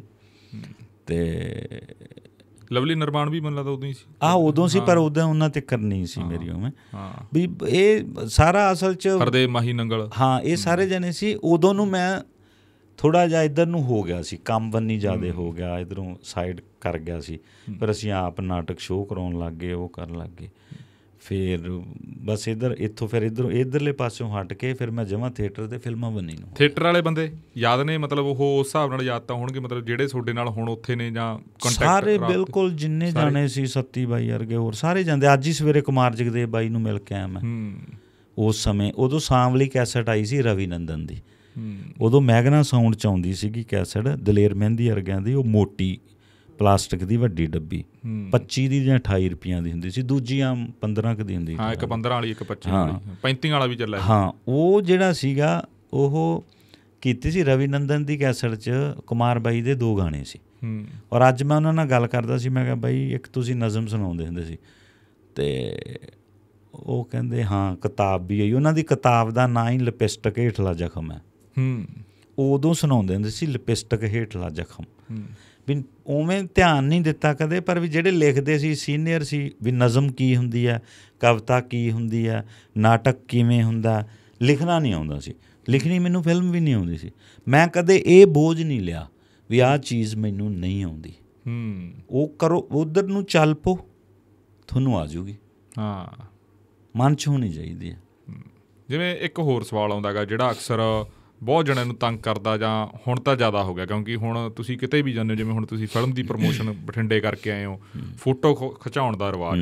ਮਤਲਬ ਬਹੁਤ ਜ਼ਿਆਦਾਗਾ ਮਤਲਬ ਨਾਰਾਜ਼ਗੀ ਵੀ ਬਹੁਤ ਛੇਤੀ ਹੋ ਜਾਂਦੀ ਹਾਂ ਆ ਬਿਲਕੁਲ। ਤੇ ਉਹ ਤੁਹਾਨੂੰ ਇਹ ਫੇਮ ਵਾਲਾ ਜਿਹੜਾਗਾ ਚੜਾਈ ਹੋ। ਗਈ ਬੱਲੇ ਬੱਲੇ ਹੋ ਗਈ ਬਹੁਤ ਵਧੀਆਗਾ ਨਿੱਜੀ ਜ਼ਿੰਦਗੀ ਇੱਕ ਅੱਡ ਪਰਿਵਾਰ ਨੂੰ ਸਮਾਂ ਦੇਣਾ ਉਹ ਬਹੁਤ ਸਭ ਤੋਂ ਵੱਡੀ ਗੱਲ ਹੁੰਦੀ ਹੈ ਕਹਿੰਦੇ ਸਟਾਰ ਲਈ। ਉਹ ਮਤਲਬ ਤੁਹਾਨੂੰ ਸ਼ੌਹਰਤ ਵਾਲਾ ਕਿਵੇਂ ਲੱਗਦਾਗਾ ਵੀ ਔਖਾ ਮੈਨੂੰ ਬਹੁਤਾ ਵਧੀਆ ਨਹੀਂ ਲੱਗਦਾ। ਮੈਨੂੰ ਮੇਰੀ ਪ੍ਰੋਬਲਮ ਕੀ ਹੋ ਗਈ ਮੈਨੂੰ ਬੜਾ ਹੁੰਦਾ ਸੀ ਚੰਡੀਗੜ੍ਹੋਂ ਚੱਲਦੀ ਸੀ ਰਾਤ ਨੂੰ 2:20 ਤੇ 2:30 ਤੇ ਬੱਸ ਤੇ 7 ਵਜੇ ਉਹ ਕੋੜੂਪੁਰੇ ਸਵਾ ਸੱਤ ਲਾ ਦਿੰਦੀ ਸੀ। ਮੈਨੂੰ ਬੱਸਾਂ 'ਚ ਹੋਰ ਵੀ ਸਫ਼ਰ ਕਰਨਾ ਬਹੁਤ ਚੰਗਾ ਲੱਗਦਾ ਸੀ। ਤੇ ਮੈਨੂੰ ਜਿਹੜੀਆਂ ਸੜਕ ਤੇ ਵਾਈਟ ਲਕੀਰਾਂ ਵਾਈਆਂ ਵੀ ਹੁੰਦੀਆਂ ਬਹੁਤ ਘੈਂਟ ਲੱਗਦੀਆਂ। ਉਹ। ਤੋਰਦੀਆਂ ਰਹਿੰਦੀਆਂ ਤੁਹਾਨੂੰ। ਚੱਲਦੇ ਰਹਿੰਦੇ ਆ ਤੁਸੀਂ। ਉਹ ਤੁਹਾਨੂੰ ਰਾਹ ਦਿਖਾਉਂਦੀਆਂ ਤੁਹਾਨੂੰ ਨਿਸ਼ਾਨੀਆਂ ਦਿੰਦੀਆਂ ਵੀ ਇੱਥੇ ਬ੍ਰੇਕ ਹੈ ਇੱਥੇ ਸਕੂਲ ਹੈ ਇਸ ਤੋਂ ਬਾਅਦ ਕੱਟ ਆਊਗਾ ਕਿਤੋਂ ਕੀ ਹੋਊਗਾ। ਮੈਨੂੰ ਸਟਰੀਟ ਲਾਈਟਾਂ ਬਹੁਤ ਚੰਗੀਆਂ ਲੱਗਦੀਆਂ ਹੈਨਾ ਵੀ ਸਟਰੀਟ ਲਾਈਟਾਂ ਵੀ ਮੈਨੂੰ ਐ ਲੱਗਦਾ ਹੁੰਦਾ ਵੀ ਜਿੱਤੇ ਕੱਲਾ ਵੀ ਕਿਤੇ ਜਾਂਦਾ ਪਿਆ। ਮੈਨੂੰ ਇਹ ਵੀ ਗੰਦੀ ਆਦਤ ਹੈ ਮੈਂ ਤੁਰ ਕੇ ਜਿਵੇਂ ਕਾਮਾ ਹੋਟਲ ਹੈ ਚੰਡੀਗੜ੍ਹ ਵਾਲਾ ਤੇ ਉੱਥੋਂ ਮੈਂ ਖਰੜ ਤੁਰ ਕੇ ਆਉਂਦਾ ਰਿਹਾ। ਹੂੰ। 3B2 ਕੋਲੇ ਆ ਜਿਹੜਾ। ਬਸ ਉਹ ਵੀ ਮੈਨੂੰ ਸਟਰੀਟ ਲਾਈਟਾਂ ਚੰਗੀਆਂ ਲੱਗਦੇ ਉਹ ਮਿੱਤਰ ਹੀ ਲੱਗਦੇ ਹੁੰਦੇ ਬੇਲੀ ਲੱਗਦੇ ਹੁੰਦੇ। ਕੋਈ ਜਗੀ ਜਾਂਦੀ ਆ ਕੋਈ ਜਗਬੁਝ ਕਰੀ ਜਾਂਦੀ ਆ ਕੋਈ ਕੁਝ ਉਹ ਸਾਰਾ ਮੇਰਾ ਖਤਮ ਹੋ ਗਿਆ। ਹੂੰ। ਵੀ ਮੈਂ ਮੋਟਰਸਾਈਕਲ ਚੱਕਣਾ ਕੋੜ ਉੱਪਰੋਂ 12 ਵਜੇ ਤੱਕ ਐਤਵਾਰ ਨੂੰ ਦੁਕਾਨ ਤੇ ਤੇ ਜੈਤੋ ਜਾਂਦਾ ਸੀ ਮੈਂ। ਅਸੀਂ ਪਲੇਟੀ ਤੇ ਬਹਿ ਜਾਣਾ ਗੱਲਾਂ ਮਾਰਨੀਆਂ ਜੈਤੋ ਵਾਲੇ ਸਾਰੇ ਥੀਏਟਰ ਵਾਲੇ ਉਵੇਂ। ਉਹ ਖਤਮ ਹੋ ਗਿਆ। ਫਿਰ ਹਾਂ ਕੋਟਕਪੂਰੇ ਜਾ ਕੇ ਜ਼ਰੂਰ ਹੁਣ ਮੈਂ ਥੋੜਾ ਜਿਹਾ ਉਵੇਂ ਹੋਇਆ ਵੀ ਫੋਟੋਆਂ ਫਾਟੂਆਂ ਹੋਣ ਨਹੀਂ ਉਹ ਤਾਂ ਉਹ ਤਾਂ ਯਾਰ ਮਿੱਤਰ ਹੀ ਆ। ਵੀ ਉੱਥੇ ਮਹੱਲੇ ਮੁੱਲੇ 'ਚ ਬਹਿ ਬੂ ਜਾਈਦਾ। ਹਾਂ। ਹਾਂ ਉਹਨਾਂ ਕੀ ਉੱਥੇ ਰਹਿ ਗਿਆ ਸੁਗੜ ਗਿਆ ਸਾਰਾ ਕੁਝ ਨਾ। ਜਿਹੜੇ ਆਪਾਂ ਜਿਸ ਕਿਸਮ ਦੇ ਸੀਗੇ ਉਹ ਹੁਣ ਫੋਟੋਆਂ ਕਰਾਉਣੀਆਂ ਚਲੋ ਉਹ ਤਾਂ ਮੈਂ ਕਰਵਾਉਂਦਾ ਹੀ ਰਹਿਣਾ ਕਿਉਂਕਿ ਇੱਕ ਟਾਈਮ ਸੀ ਐਂ ਲੱਗਦਾ ਹੁੰਦਾ ਸੀ ਕਿਸੇ ਵੱਡੇ ਨਾਲ ਜਾਣਾ ਵੀ ਸਾਡੇ ਨਾਲ ਕੋਈ ਕਰਾਇਆ ਕਰੂ ਫੋਟੋ। ਤੇ ਉਹ ਉਹ ਤਾਂ ਚੰਗਾ ਲੱਗਦਾ। ਜਿੰਨੀ ਕੋਸ਼ਿਸ਼ ਹੁੰਦੀ ਮੈਂ ਵੱਧ ਤੋਂ ਵੱਧ ਕਰਾਉਣਾ ਫੋਟੋਆਂ ਕੋਈ ਐਂ ਨਹੀਂ ਹੁੰਦਾ। ਕਿਤੇ ਜਮਾਂ ਹੀ ਫਸ ਗਏ ਕਿਤੇ ਉਵੇਂ ਹੋ ਗਿਆ ਜਾਂ ਕਿਸੇ ਵੀਰ ਭਰਾ ਦੇ ਪੈਗ ਪੁਗ ਲੱਗੇ ਹੋਏ ਆ ਤੇ ਉਹ ਜਿਆਦੇ ਉਵੇਂ ਹੋ ਜਾਂਦਾ। ਫਿਰ ਟਲ ਜਾਈਦਾ ਥੋੜਾ ਜਿਹਾ ਵੀ ਫੇਰ ਭਲਾਂਦੀ ਹੋ ਜੇ। ਨਹੀਂ ਤਾਂ ਉਹ ਕਰਾ ਲਈਦਾ। ਪਰ ਜਿਹੜੀ ਮਜ਼ਾ ਸੀ ਉਹ ਘਟਦਾ ਜਾਂਦਾ। ਹੂੰ। ਹੁਣ ਮੇਰੇ ਤੋਂ ਨਾਟਕ ਨਹੀਂ ਹੁੰਦਾ ਮੈਂ ਕਿਤੇ ਜਾ ਕੇ ਰਿਹਰਸਲ ਨਹੀਂ ਕਰ ਸਕਦਾ। ਹੁਣ ਮਜਬੂਰੀ ਕੀ ਹੋਗੀ ਜੇ ਆਪਾਂ ਆਈ ਫਿਰਦੇ ਆ ਫਿਰ ਬੰਦਾ ਕਹਿੰਦਾ ਉਹ ਇੱਥੇ ਆਈ ਫਿਰਦਾ ਸੀ। ਬਾਹਰ ਨਿਕਲਣਾ ਕਰਨਾ ਬੰਦ ਹੋ ਗਿਆ। ਘਟ ਗਿਆ ਇਹ ਸਾਰਾ ਕੁਝ ਇੱਕ ਹੋਰ ਗੱਲ ਜਿਹੜੀ ਮੈਨੂੰ ਲੱਗਦਾ ਬਹੁਤ ਜਦੋਂ ਨੌਜਵਾਨਾਂ ਨੂੰ ਮੈਂ ਮਿਲਦਾ ਕਲਾਕਾਰਾਂ ਨੂੰ ਜਿਹੜੇ ਹੁਣ ਐਸਟੈਬਲਿਸ਼ ਹੋ ਗਏ ਜਿਹੜੇ ਬਹੁਤ ਛੇਤੀ ਉਹ ਵੀ ਇਹ ਗੱਲ ਨੂੰ ਲੈ ਕੇ ਫਿਕਰ ਕਰਦੇ ਆ ਵੀ ਯਾਰ ਜਿਹੜਾ ਸਿਕਿਉਰਿਟੀ ਪਰਪਸ ਆ ਜਾਂ ਸਾਡੀ ਨਹੀਂ ਉਵੇਂ ਹਾਂ ਉਹ ਤਾਂ ਹੈ ਪਰ ਪਤਾ ਨਹੀਂ ਇਹਦੇ ਚ ਕੋਈ ਨਾ ਤਾਂ ਕੁਝ ਸਵਾਲ ਹੋ ਸਕਦਾ ਨਾ ਕੋਈ ਇਹਦਾ ਆਨਸਰ ਹੋ ਸਕਦਾ। ਹੂੰ। ਵੀ ਆਪਾਂ ਜਿਵੇਂ ਮੁਹੰਮਦ ਸਦੀਕ ਜੀ ਸੀ ਹੋਰ ਸੀ ਸਾਰੇ ਮਾਨਕ ਸਾਹਿਬ ਸੁਰਿੰਦਰ ਸ਼ਿੰਦਾ ਹਨਾ ਹਰਚਰਨ ਗਰੇਵਾਲ ਉਹ ਸਾਰੇ ਜਣੇ ਆਏ ਹੀ ਐਂ ਕਰਕੇ ਵੈਲੀ ਤਾਂ ਉਦੋਂ ਵੀ ਹੁੰਦੇ ਸੀ। ਲੜਾਈਆਂ ਤਾਂ ਉਦੋਂ ਵੀ ਹੁੰਦੀਆਂ ਸੀ ਮਧਾਣੀ ਚੀਰੇ ਤਾਂ ਉਦੋਂ ਵੀ ਪੈਂਦੇ ਸੀ। ਪਰ ਹੁਣ ਆ ਕੇ ਥੋੜਾ ਜਿਹਾ ਜਾਂ ਤਾਂ ਵੀ ਇਹ ਹੋ ਗਿਆ ਸਹਿਜਤਾ ਘਟ ਗਈ ਜਾਂ ਅਸੀਂ ਜਿਆਦੇ ਸੋਸ਼ਲ ਮੀਡੀਆ ਵਗੈਰਾ ਉਹ ਹੋ ਗਿਆ। ਜਿੰਨੇ ਕੁ ਜੇ ਆਪਾਂ ਕਹੀਏ ਵੀ ਜਿੰਨੇ ਮਸ਼ਹੂਰ ਹੋ ਗਏ ਤਾਂ ਉਹਨਾਂ ਕੁ ਉਹਨਾਂ ਨੂੰ ਸਾਡੀ ਪਰਸਨਲ ਲਾਈਫ ਕਦੇ ਅਸੀਂ ਸਟੋਰੀ ਪਾ ਲਈ ਕਦੇ ਐ ਕਰ ਲਿਆ ਕਰ ਲਿਆ ਉਹਨਾਂ ਲਈ ਰੈਗੂਲਰ ਵੀ ਹੋ ਗਿਆ। ਉਹਨਾਂ ਜ਼ਿਆਦਾ ਟਿਕਟੌਕ ਦੇ ਉੱਪਰ ਵੀ ਹੋ ਗਿਆ। ਜਿਵੇਂ ਹੁਣ ਅੱਜ ਆਪਾਂ ਇੰਟਰਵਿਊ ਕਰੀ ਜਾਂਦੇ ਮੈਨੂੰ ਯਾਦ ਆ ਵੀ ਅਸੀਂ ਤੜਾਗੀਆਂ ਤੜਾਉਂਦੇ ਹੁੰਦੇ ਸੀ ਵੀ ਜੇ ਕਿਤੇ ਝਿਲਮਿਲ ਤਾਰੇ 'ਚ ਹੀ ਜਾ ਕੇ ਬਹਿ ਜਾਈਏ। ਹਾਂ। ਬੱਚਿਆਂ ਵਾਲੇ 'ਚ। ਵੀ ਇਧਰੋਂ ਐ ਕਰਕੇ ਕੈਮਰਾ ਜਿਹਾ ਜਿਹੜਾ ਵੱਜਦਾ ਹੁੰਦਾ ਉਨਾ ਹੀ ਬਹੁਤ ਹੈ। ਹੈਨਾ? ਤੇ ਅੱਜ ਤੁਸੀਂ ਘਰੇ ਆਪਦੇ ਆਪਦਾ ਹੀ ਸਟੂਡੀਓ ਬਣਾਈ ਬੈਠੇ ਆ। ਜਦੋਂ ਕਿ ਇੱਕ ਟਾਈਮ ਹੁੰਦਾ ਸੀ ਵੀ ਜਾਂ ਤਾਂ ਜਲੰਧਰ ਆ ਤੇ ਜਾਂ ਚੰਡੀਗੜ੍ਹ ਉਹਨਾਂ ਸਾਰਾ ਕੁਝ ਰੈਗੂਲਰ ਵੀ ਹੋ ਗਿਆ। ਸਾਰਾ ਕੁਝ ਦੇਖੋ ਜਿਹੜਾ ਸਮਾਂ ਜਾਂ ਪਰਮਾਤਮਾ ਜੋ ਜਿਹੜੀ ਪ੍ਰਕਿਰਤੀ ਹੈ ਜਾਂ ਕੁਦਰਤ ਹੈ ਉਹ ਆਪਦੇ ਅਨਸਾਰ ਹੀ ਚਲਾਉਂਦੀ ਹੈ। ਜੇ ਉਹ ਸਾਰਾ ਕੁਝ ਵੱਧ ਰਿਹਾ ਤੇ ਐਂ ਵੀ ਵੱਧ ਰਿਹਾ ਸਾਰਾ ਕੁਝ ਸੌਖਾ ਵੀ ਹੁੰਦਾ ਪਿਆ। ਜੇ ਜਾਣੇ ਜਿਆਦੇ ਆਉਂਦੇ ਪਏ ਆ ਤੇ ਸੌਖਾ ਵੀ ਬਹੁਤ ਹੋਇਆ ਪਿਆ। ਜੀ। ਨਹੀਂ ਟਾਈਮ ਬਹੁਤ ਲੱਗਦਾ ਸੀ। ਆਪਾਂ ਫਿਲਮ ਦੀ ਵੀ ਗੱਲ ਕਰ ਲਈਏ ਚੇਤ ਸਿੰਘ। ਬਿਲਕੁਲ ਉਹਦੇ ਬਾਰੇ ਕਿਵੇਂ ਆ? ਮਤਲਬ ਜਿਹੜਾ ਪੋਸਟਰ ਆ ਰਿਹਾ ਜਾਂ ਜਿੱਦਾਂ ਦੀ ਮਤਲਬ ਤੁਹਾਡੀ ਛਵੀ ਆ ਰਹੀ ਹਾਲਾਂਕਿ ਉਹੋ ਜੀ ਆ ਵਾਰਨਿੰਗ ਆਉਂਗੀ ਮੈਨੂੰ ਤਾਂ ਉਵੇਂ ਜੀ ਲੱਗ ਰਿਹਾ ਹੈਗਾ। ਮਤਲਬ ਦੱਸੋਗੇ ਉਹਦੇ ਬਾਰੇ ਕੁਝ ਦੇਖੋ ਵਾਰਨਿੰਗ ਦੇ ਵਿੱਚ ਜਿਹੜਾ ਪੰਮਾ ਸੀਗਾ ਉਹਦੀ ਇੱਕ ਹੀ ਲਕੀਰ ਸੀ ਨੌਕਰੀ ਮਿਲੀ ਨਹੀਂ ਉਹ ਦੂਜੇ ਹੱਥਾਂ 'ਚ ਚੜ ਗਿਆ ਤੇ ਗੈਂਗਸਟਰੀਆ ਬਣ ਲਿਆ। ਇਹ ਕਹਾਣੀ ਹੈਗੀ ਆ ਇੱਕ ਕਿਤਾਬਾਂ ਵਾਲੀ ਦੁਕਾਨ ਤੇ ਮੁੰਡਾ ਲੱਗਿਆ ਜਿਹੜਾ ਲਟਰੇਰੀ ਹੈ ਜਿਹੜਾ ਗੁਰਦਿਆਲ ਸਿੰਘ ਦਾ ਪਰਸਾ ਵੀ ਪੜਦਾ ਉਹ ਦੁਕਾਨ ਹੈਗੀ ਆ ਕਲਾਸਾਂ ਦੀਆਂ ਜਿਹੜੀਆਂ ਕਿਤਾਬਾਂ ਵਾਲੀ ਹੁੰਦੀ ਉਹ। ਪਰ ਉਹ ਨਾਲ ਲਿਆ ਕੇ ਬੁੱਕਸ ਰੱਖਦਾ ਇਹ। ਹੂੰ। ਹੈਨਾ? ਉਹ ਅਸਲੀ ਇਨਸਾਨ ਦੀ ਕਹਾਣੀ ਵੀ ਵੇਚਦਾ। ਉਹ ਸਾਰੀਆਂ ਹੀ ਉਹ ਕਰਦਾ। ਉਹ ਢਾਵਾਂ ਦਿੱਲੀ ਦੇ ਕਿੰਗਰੇ ਵੀ ਵੇਚਦਾ। ਉਹ ਜੋਗਿੰਦਰ ਸਿੰਘ ਦੀ ਅਮ, ਸਰ ਦੀ ਉਹਨਾਂ ਦੀ ਉਹ ਵੀ ਵੇਚਦਾ ਜਿੰਨਾ ਜਿੱਤੀਆਂ ਬਾਜ਼ੀਆਂ।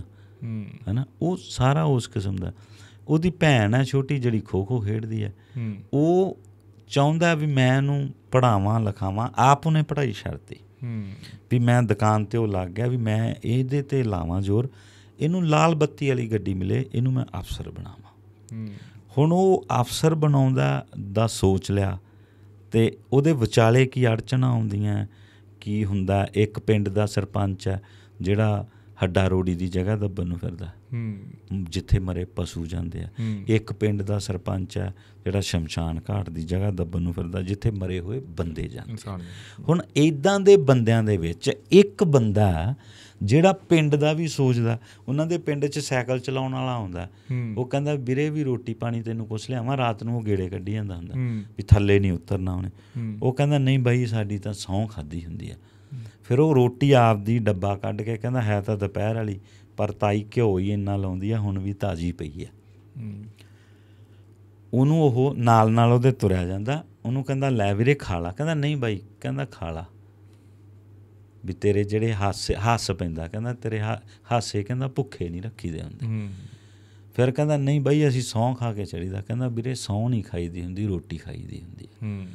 ਇਦਾਂ ਦਾ ਜਿਹੜਾ ਉਹ ਕਰੈਕਟਰ ਹੈ ਕਿਵੇਂ ਉਹਨੂੰ ਆਉਂਦੀ? ਪਾਲਾ ਉਹਦਾ ਨਾਂ ਫਿਰ ਚੇਤਾ ਸਿੰਘ ਹੈ। ਪਾਲੇ ਤੋਂ ਚੇਤਾ ਬਣਨ ਦੀ ਇੱਕ ਜਰਨੀ ਹੈ। ਹੂੰ ਇੱਕ ਮੈਨੂੰ ਗੱਲ ਬਹੁਤ ਖੂਬਸੂਰਤ ਲੱਗੀ। ਮੈਨੂੰ ਇਹ ਨਹੀਂ ਪਤਾ ਵੀ ਕਿਉਂ ਹੋਊਗਾ। ਤੁਹਾਡੀ ਕਹਾਣੀ ਦੱਸੂ ਵੀ ਜਿਹੜਾ ਤੁਸੀਂ ਖੋ ਖੋ ਸ਼ਬਦ ਇਸਤੇਮਾਲ ਕਰ ਲਿਆ। ਹੂੰ। ਸਾਡੀ ਆਡੀਅנס ਉਹ ਜੀ ਸਾਰਿਆਂ ਨੇ ਦੇਖ ਲੈਣੀ ਆ ਹੁਣ ਕਿਉਂਕਿ ਉਹ ਮਤਲਬ ਤੁਸੀਂ ਹੋਰ ਗੇਮ ਵੀ ਖੜਾ ਸਕਦੇ ਸੀ। ਹਾਂ ਨਹੀਂ ਇਹ ਖੋ ਕਹਾਣੀ ਕੋਈ ਸਾਲਾਂ ਮਤਲਬ ਕੋਈ ਤੁਸੀਂ ਉਵੇਂ ਪਾਰਟਿਕੂਲਰ ਦੱਸ ਸਕਦੇ ਹੋ ਵੀ 1995 ਨਹੀਂ ਨਹੀਂ ਐਂ ਕੋਈ ਨਹੀਂ। ਹੁੰਦੀ ਐਂ ਨਹੀਂ। ਮੈਂ ਤੁਹਾਨੂੰ ਆਪਾਂ ਚੱਲਦੇ ਆ ਸਾਡੇ ਇਧਰ ਬਾਂਦਰ ਜਟਾਣੇ ਚੱਲ ਵੜਦੇ ਜਿੱਥੇ ਢਿੱਲੋਂ ਬਾਈ ਦਾ ਸੀ। ਆਪਾਂ ਸੂਰਕੁਰੀ ਜਾ ਵੜਦੇ ਆ ਆਪਾਂ ਮੜਾਕ ਮੈਂ ਪਿੱਛੇ ਜੇ ਮਾਮਾ ਮਾਮਾ ਜੀ ਮੇਰੇ ਉੱਥੇ ਸੀਗੇ ਉਹ ਉੱਥੇ ਸਕੂਲ 'ਚ ਪੜਾਉਂਦੇ ਸੀ।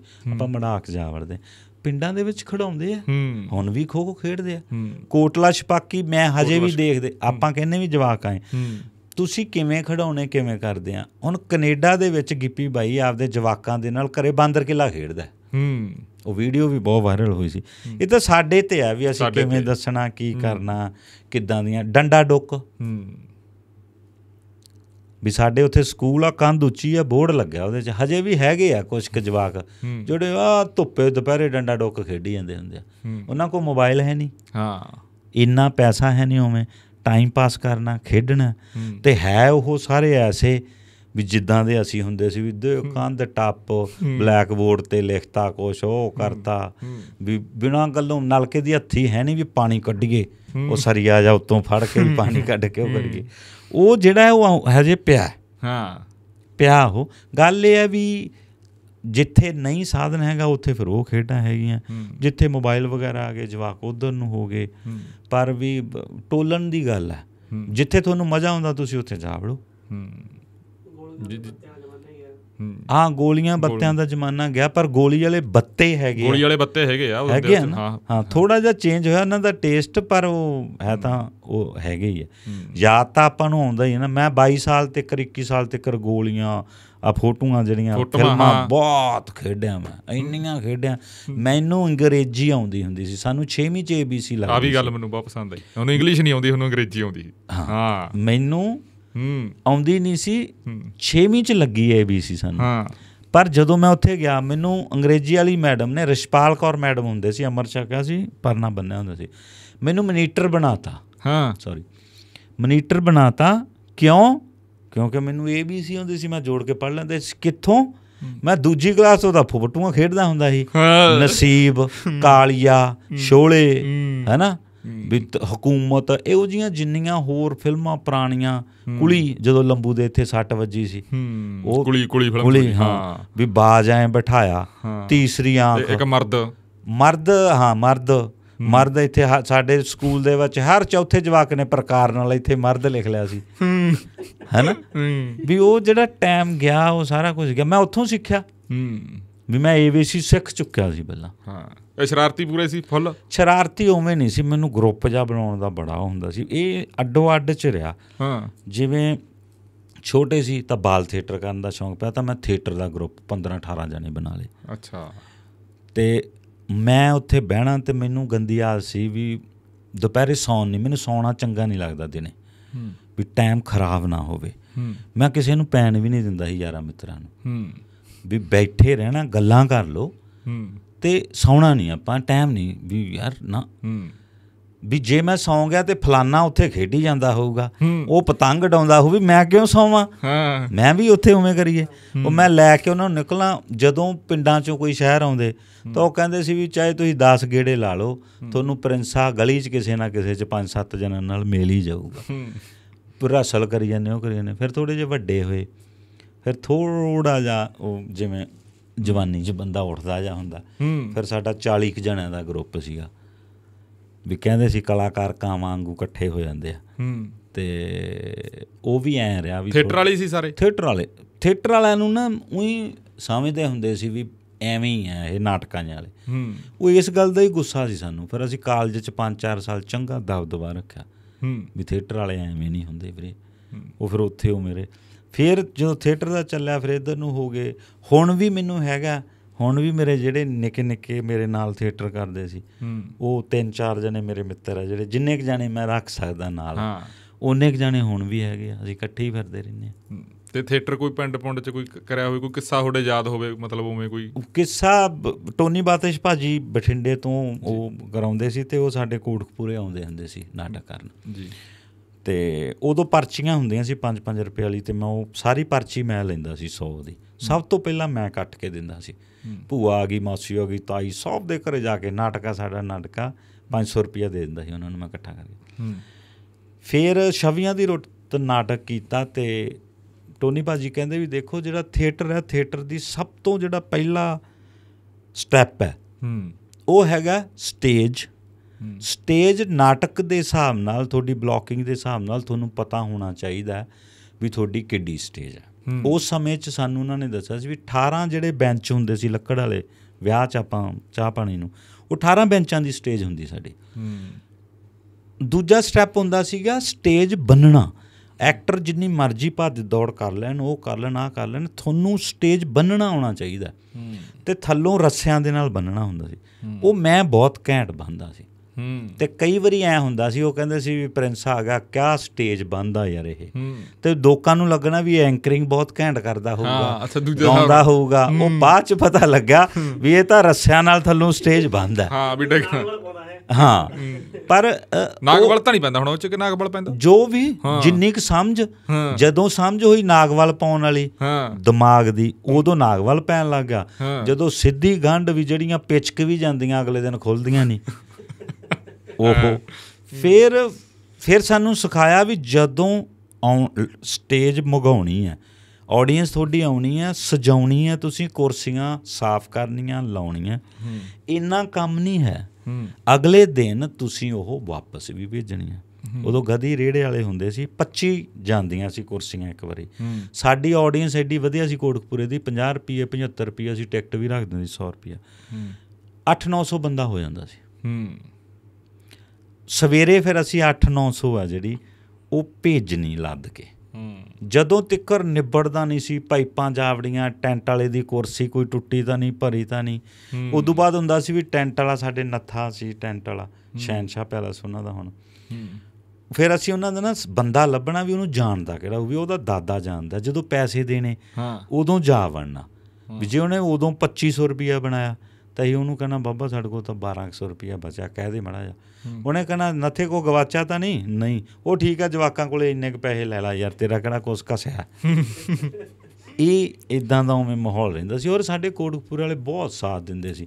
ਬਾਜ਼ਾਰ ਵਾਲੇ ਦੁਕਾਨਾਂ ਵਾਲੇ ਅਸੀਂ ਕਿਤੇ ਤੁਰੇ ਜਾਂਦੇ ਉਹ ਹੈਲੋ ਕਲਾਕਾਰ ਹੋ ਰਹਾ ਹਾਂ। ਹਾਂਜੀ ਨਾਟਕ ਨਹੀਂ ਕਰਨਾ ਤੁਸੀਂ? ਅਸੀਂ ਕਹਿੰਦਾ ਬਈ ਕਰ ਦਾਂਗੇ। ਉਹ ਚਾਲ ਲੈਕ ਦੀ 50 ਦੀ ਪਰਚੀ ਕੱਟ ਲਿਓ ਮੇਰੀ। ਕਰੋ ਯਾਰ ਨਾਟਕ ਮਾਹੌਲ ਜਾ ਬਣ ਜਾਂਦਾ। ਵੀ ਮੈਂ ਡਾਰਾਂ ਜਾਂਦੀਆਂ ਦੇਖੀਆਂ ਆਪਣੀਆਂ ਪੀੜੀਆਂ ਫੱਟੀਆਂ ਲੱਕੜ ਵਾਲੀਆਂ ਦੇ ਬੋਰੀਆਂ। ਹੱਥਾਂ 'ਚ ਲੈ ਕੇ ਸਾਡੇ ਕੋਟਕਪੂਰੇ ਬॉय ਸਕੂਲ 'ਚ ਨਾਟਕ ਹੁੰਦਾ ਸੀ। ਹਾਂ।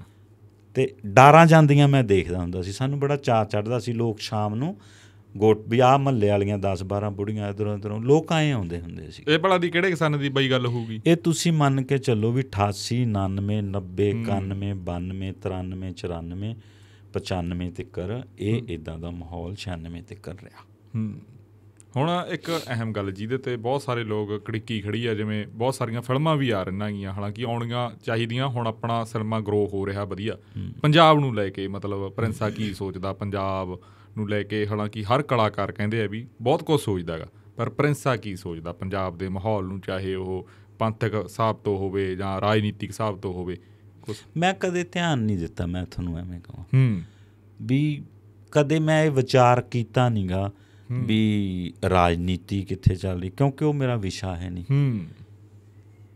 ਜਾਂ ਵੀ ਪੰਥਕ ਜਾਂ ਉਵੇਂ। ਮੇਰਾ ਕਦੇ ਧਿਆਨ ਗਿਆ ਨਹੀਂ।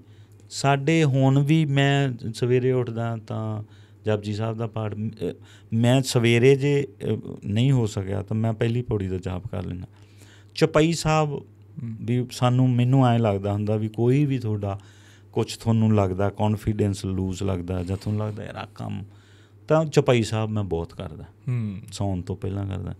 ਆਪਦੀ ਮੈਂ ਵੀ ਜਿਹੜੀ ਇੱਕ ਬਣਾਈ ਹੋਈ ਹੈ ਵੀ ਪੈਣ ਤੋਂ ਪਹਿਲਾਂ ਕਰਕੇ ਉਹ ਪੈ ਜਾਂਦਾ। ਨਾਲ ਹੀ ਇਹਦੇ ਜਿਵੇਂ ਕਹਿੰਦੇ ਵੀ ਕਲਯੁਗ ਭਾਰੀ ਹੈ। ਹੂੰ।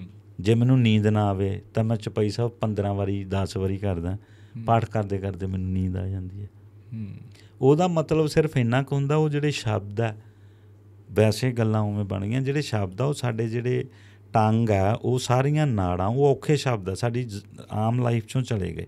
ਜਦੋਂ ਅਸੀਂ ਪੜ੍ਹਦੇ ਆ ਮੇਰਾ ਜੋ ਹੈ, ਤਾਂ ਸਾਡਾ ਜਿਹੜਾ ਸਾਰੀ ਨਾ ਐਕਸਰਸਾਈਜ਼ ਵੀ ਹੁੰਦੀ, ਸਾਡੀਆਂ ਨਾੜਾਂ ਖੁੱਲਦੀਆਂ, ਉਹ ਬਾਣੀ ਦੇ ਜਿਹੜੇ ਗੁਰੂਆਂ ਨੇ ਸ਼ਬਦ ਬਣਾਏ ਆ, ਇਸੇ ਕਰਕੇ ਸਾਨੂੰ ਪਾਠ ਕਰਨ ਤੋਂ ਬਾਅਦ ਸਕੂਨ ਆਉਂਦਾ। ਸਾਡੀ ਇੱਕ ਜਿਹੜੀ ਸਰਕਲ ਖੂਨ ਦਾ ਚੱਲਦਾ, ਅਸੀਂ ਪੋਜ਼ਿਟਿਵ ਹੁੰਨੇ ਆ ਉਹ ਸ਼ਬਦ, ਸਾਰੀ ਜ਼ਿੰਦਗੀ ਲਾ ਕੇ ਇੱਕ ਇੱਕ ਸ਼ਬਦ ਦਾ ਨਿਚੋੜ ਕੱਢਿਆ। ਜਿਵੇਂ ਅੱਜ ਅਸੀਂ ਕਿਤੇ ਗਏ ਉਹਨਾਂ ਨੇ ਦੱਸਿਆ ਕਹਿੰਦੇ ਵੀ ਬਾਬਾ ਫਰੀਦ ਜੀ ਦਾ ਕੋਈ ਵੀ ਸ਼ਲੋਕ ਇੱਕ ਜੀ। ਉਹਦੇ ਤੇ ਅਮਲ ਕਰ ਲਓ। ਇੱਕ ਸ਼ਲੋਕ ਤੇ। ਬਾਣੀ ਦੇ ਇੱਕ ਸ਼ਲੋਕ ਤੇ। ਜ਼ਿੰਦਗੀ ਨਿਕਲ ਜਾਂਦੀ ਹੈ ਉਹਦੇ ਨਾਲ। ਲੋੜ ਨਹੀਂ ਬਾਲਾ ਕੁਝ ਕਰਨ ਦੀ। ਹੂੰ। ਗੱਲ ਆ ਅਮਲ ਕਰਨ ਦੀ। ਗੱਲ ਅਮਲ ਕਰ। ਤੇ ਮੇਰਾ ਕਦੇ ਗਿਆਨ ਨਹੀਂ ਇੱਧਰ ਧਿਆਨ। ਮੈਂ ਤੁਹਾਨੂੰ ਦੱਸਿਆ ਨਾ ਮੈਂ ਹੋ ਥੋੜਾ ਜਿਹਾ ਫਿਲਮੀ ਆਪਦੀ ਮੇਰੀ ਦੁਨੀਆ ਹੁੰਦੀ ਆਪਦੀ ਹੁਣ ਬ- ਬੰਟੀ ਵੀਰਾ ਜਿਹਨੇ ਡਾਇਰੈਕਟ ਕੀਤੀ ਮ, ਪਾਲ ਜਿਹਨੇ 뮤직 ਦਿੱਤਾ ਬਰਨਾਲੇ ਤੋਂ ਮੈਂ ਪੁਰਾਣਾ ਜਾਣਦਾ 뮤직 ਅੰਪਾਇਰ ਤੇ ਉਹਨਾਂ ਨਾਲ ਤੁਸੀਂ ਗੱਲ ਕਰ ਲਿਓ ਵੀ ਜੇ ਉਹਨਾਂ ਨਾਲ ਮੈਂ ਕਦੇ ਗੱਲ ਕੀਤੀ ਹੋਵੇ ਵੀ ਤੁਹਾਨੂੰ ਲੱਗਦਾ ਵੀ ਆਪਣੇ ਫਿਲਮ ਦੇਖਣ ਆ ਜਾਣਗੇ ਜਾਂ ਤੁਹਾਨੂੰ ਲੱਗਦਾ ਕਿੰਨੀ ਕੁ ਹਵਾ ਆਪਣੀ ਕਿੰਨਾ ਕੋ ਆ ਨਾ ਹੋਰ ਹੀ ਗੱਲਾਂ ਚੱਲੀ ਜਾਂਦੀਆਂ ਹੁੰਦੀਆਂ ਉਹ ਆਪਦੀਆਂ ਹੀ ਵੀ ਪਾਲ ਤੇਰੇ ਕੋ ਉਦੋਂ ਆਇਆ ਸੀ ਮੈਂ ਕਰਕੇ ਆਇਆ ਤੇ ਜੇ ਪਾਲ ਨੇ ਗੱਲ ਕਰਤੀ ਵੀ ਵੀਰੇ ਇੱਥੇ ਆ ਤੇ ਅੱਛਾ ਅੱਛਾ ਹਾਂ ਠੀਕ ਹੈ ਜਦੋਂ ਇਹਨੇ ਹੁਣ ਮੈਨੂੰ ਤੁਹਾਡਾ ਦੱਸਿਆ ਤੇ ਮੁੰਡਾ ਸਾਡੇ ਨਾਲ ਸੀਗਾ ਇੱਥੇ ਆਪਣੇ ਇੱਕ ਮਿੱਤਰ ਟੱਕਰ ਗਿਆ ਉਹ ਕਹਿੰਦੇ ਯਾਰ ਸਾਡੇ ਸਾਹਿਬ ਆ ਤੇ ਆਫੀਸਰ ਸੀਗੇ ਵੀ ਉਹ ਫੈਨ ਤੇਰੇ ਮਾੜਾ ਜਾ ਮਿਲ ਕੇ ਜਾਈ ਮੈਂ ਕਿਹਾ ਕੋਈ ਗੱਲ ਨਹੀਂ ਮੈਂ ਉੱਥੇ ਖੜ ਗਿਆ ਪੁੱਚੋ ਖੜ ਗਏ ਅਸੀਂ ਹੂੰ। ਤੇ ਪੁੱਚੋ ਐਡਾ ਵੱਡਾ ਲੱਗਿਆ ਉੱਥੇ ਫਲੈਕਸ ਹੂੰ ਹਾਂ ਲੱਗਿਆ ਹੋਇਆ ਟੋਲ ਪਲਾਜੇ ਕੋਲ। ਹਾਂ। ਫਿਰ ਸਾਨੂੰ ਇਹ ਵੀ ਲੱਗਦਾ ਸੀ ਅਸੀਂ ਤੁਹਾਡੇ ਕੋਲੇ ਪਹੁੰਚਣਾ ਲੇਟ ਨਾ ਹੋ ਜਾਈਏ। ਮੈਂ ਕਿਹਾ ਨਹੀਂ ਉਹ ਖੜਾਇਆ ਕਾਦੇ ਤੂੰ ਉਹਨੇ? ਉਹ ਕਹਿੰਦਾ ਵੀ ਤੂੰ ਪੁੱਛੋਂ ਚੋਂ ਐਵੇਂ ਨਾ ਲੰਘ। ਪੁੱਛੋ ਦੇ ਲੋਕ ਵੀ ਬਹੁਤ ਪਿਆਰ ਕਰਦੇ ਆ ਤੈਨੂੰ। ਮੈਂ ਉੱਥੇ ਖੜ ਕੇ ਉਹ ਫਿਰ ਸਭ ਤੋਂ ਵੱਡਾ ਫਲੈਕਸ ਪੰਜਾਬ ਦਾ ਉੱਥੇ ਲੱਗਿਆ ਹੋਇਆ। ਚੇਤਾ ਸਿੰਘ ਦਾ। ਚੇਤਾ ਸਿੰਘ ਦਾ। ਐ ਉਹਦੀ ਵੀਡੀਓ ਬਣਾਈ 2 ਮਿੰਟ ਖੜ ਕੇ ਦੇਖਿਆ। ਅੱਛਾ ਮੈਨੂੰ ਲੱਗਦਾ ਨਹੀਂ ਵੀ ਉਹ ਉਹ ਪ੍ਰਿੰਸ ਹੈ ਉਹ। ਹਾਂ। ਇਹ ਪ੍ਰੋਬਲਮ ਹੈ ਮੇਰੀ। ਅੱਛਾ ਤੁਹਾਨੂੰ ਮੈਨੂੰ ਪੋਸਟਰ ਤੇ ਨਹੀਂ ਯਕੀਨ ਹੀ ਨਹੀਂ ਆਉਂਦਾ ਵੀ ਉਹ ਪ੍ਰਿੰਸ ਹੈ ਕਿਉਂਕਿ ਜਦੋਂ ਮੈਂ ਉਹ ਰੋਲ ਕਰਦਾ ਸੀ ਉਹ ਕਰਦਾ ਸੀ ਉਹ ਉਹ ਸੀਗਾ। ਹੁਣ ਤਾਂ ਮੈਂ ਉਹ ਹੈ ਨਹੀਂਗਾ। ਹੂੰ। ਹੁਣ ਮੈਂ ਹੋਰ ਹੈ। ਹੂੰ। ਤੇ ਮੈਨੂੰ ਕਦੇ ਨਹੀਂ ਲੱਗਿਆ ਹੂੰ। ਵੀ ਯਾਰ ਉਹ ਮੈਂ ਬੈਠਾ। ਤੇ ਮੈਨੂੰ ਕਦੇ ਵੀ ਯਾਦ ਨਹੀਂ ਰਹਿੰਦਾ ਵੀ ਯਾਰ ਉਦੋਂ ਉਹ ਰੋਲ ਮੈਂ ਕਿਵੇਂ ਕਰ ਗਿਆ। ਮੈਨੂੰ ਗੱਲਾਂ ਯਾਦ ਰਹਿੰਦੀਆਂ ਵੀ ਫਿਲਮ ਦੇ ਸੈੱਟ ਤੇ ਬਹੁਤ ਮਜ਼ਾ ਕੀਤਾ ਯਾਰ ਐ ਯਾਰ ਹੱਡੀਆਂ ਹੁੱਡੀਆਂ। ਮੈਨੂੰ ਬੰਟੀ ਵਰਗੇ ਜਾਂ ਜਪਜੀ ਇੱਕ ਦਿਨ ਕਹਿੰਦੀ ਤੁਹਾਨੂੰ ਉੱਥੇ ਸੈੱਟ ਲੱਗਿਆ ਵਾ ਸੀ ਜਿਹੜਾ ਜਮਾਂ ਤੁਹਾਨੂੰ ਲੱਗੂਗਾ ਵੀ ਹੱਡਾ ਰੋੜੀ origignal ਹੀ ਹੈ। ਆਰਟ ਵਾਲੇ ਮੁੰਡੇ ਸੋਨੂ ਵਰਗੇ ਬਹੁਤ ਮਿਹਨਤ ਕੀਤੀ ਉਹਨਾਂ ਨੇ। ਹਾਂ। ਤੇ ਉੱਥੇ ਖੱਲਾਂ ਟੰਗੀਆਂ ਤੁਹਾਨੂੰ ਲੱਗਣੀਆਂ ਵੀ ਸਹੀ ਖੱਲਾਂ ਟੰਗੀਆਂ। ਹੂੰ। ਪਰ ਆਰਟ ਹੂੰ। ਉਵੇਂ। ਕਲਾ, ਉਹ ਉੱਥੇ ਸਾਰੇ ਜਣੇ ਡਰਦੇ ਸੀ। ਹੂੰ। ਮੈਨੂੰ ਕਹਿੰਦੇ ਤੁਹਾਨੂੰ ਮੈਂ ਉੱਥੇ ਸੌ ਜਾਂਦਾ ਸੀ। ਹੂੰ। ਬੈਠਾ ਬੈਠਾ ਨਾ ਮੇਰਾ ਹੈ ਨਹੀਂ ਤੇ ਮੈਂ ਰਜਾਈ ਲਈ। ਉਹ ਰਜਾਈ ਵਿਚਾਰੇ ਹੁਣ ਮੁੰਡੇ ਉਵੇਂ ਉਹਨਾਂ ਨੇ ਨਵੀਂ ਲਿਆ ਕੇ ਦੇਤੀ ਜਿਨ੍ਹਾਂ ਨੇ ਦੇਣੀ ਸੀ। ਫਿਰ ਉੱਥੇ ਮੈਂ ਬੰਟੀ ਨੂੰ ਆਵਾਜ਼ ਮਾਰੀ ਮੈਂ ਕਹਿ ਰਿਹਾ ਉਹ ਕੈਂਟਰ ਵਾਲਾ ਨਹੀਂ ਜਨਰੇਟਰ ਵਾਲਾ? ਕਹਿੰਦਾ ਹਾਂ।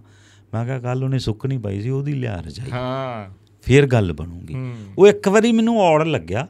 ਪਰ ਸਾਡੇ ਟਰੱਕ ਰਹੇ ਆ। ਫਿਰ ਮੈਨੂੰ ਉਹਦੇ ਅੱਛਾ ਚੋਂ ਟਰੱਕ ਰਹੇ ਆ। ਹਾਂ ਸਾਡੇ ਟਰੱਕ ਰਹੇ। ਤੇ ਫਿਰ ਮੈਨੂੰ ਉਹਦੇ ਚੋਂ ਇੱਕ ਅਲੱਗ ਕਿਸਮ ਦੀ ਜਿਹੜੀ ਖੁਸ਼ਬੂ ਸੀਗੀ ਉਹ ਆਉਣ ਲੱਗ ਗਈ ਜਿਹੜੀ ਜਦੋਂ ਮੈਂ ਆਪਦੇ ਟਰੱਕ ਤੇ ਪੈਂਦਾ ਸੀ ਤੇ ਉਹ ਰਜਾਈ ਨਾਲ ਹੀ ਜੁੜ ਗਿਆ। ਮੈਨੂੰ ਐ ਨੀਂਦ ਆਉਂਦੀ ਸੀ ਐ। ਹੂੰ। ਉੱਥੇ ਮੈਂ ਪੈਣਾ ਸੌਂਗਾ। ਉਹ ਕਹਿੰਦੇ ਤੂੰ ਕਿਵੇਂ ਸੌਂ ਜਾਂਦਾ?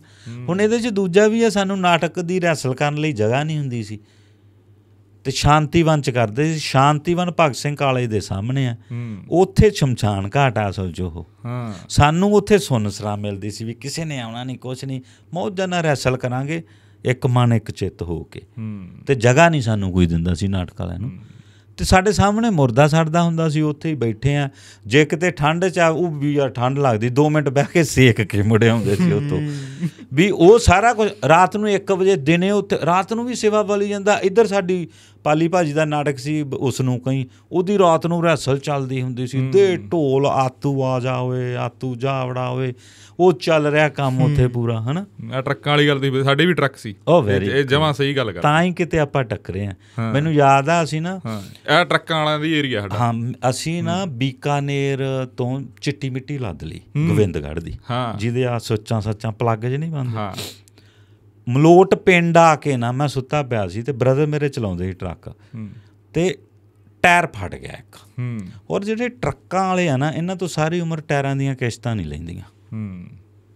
ਇਹੀ ਨਹੀਂ ਪੂਰੇ ਆਉਂਦੇ। ਹਾਂਜੀ। ਗੇੜਾ ਤਾਂ ਲੰਬਾ ਲਾ ਲੈਣਗੇ ਉਹ ਘਸਿਆ ਪਿਆ ਹੁੰਦਾ ਗੁੱਡੀ ਇਧਰੋਂ ਘਸ ਗਈ। ਇਧਰੋਂ ਕਰ ਗਈ। ਹੂੰ। ਆਈ ਚਲਾਈ ਕੰਮ ਹੁੰਦੇ ਹਨਾ? ਹੂੰ। ਉਹ ਫਟ ਗਿਆ ਤੇ ਦਵਾ ਦਾ ਉਤਰੇ ਅਸੀਂ ਵੀ ਦੂਜਾ ਨਾ ਹੂੰ। ਕਿਤੇ ਕੋਈ ਪ੍ਰੋਬਲਮ ਆ ਜੇ।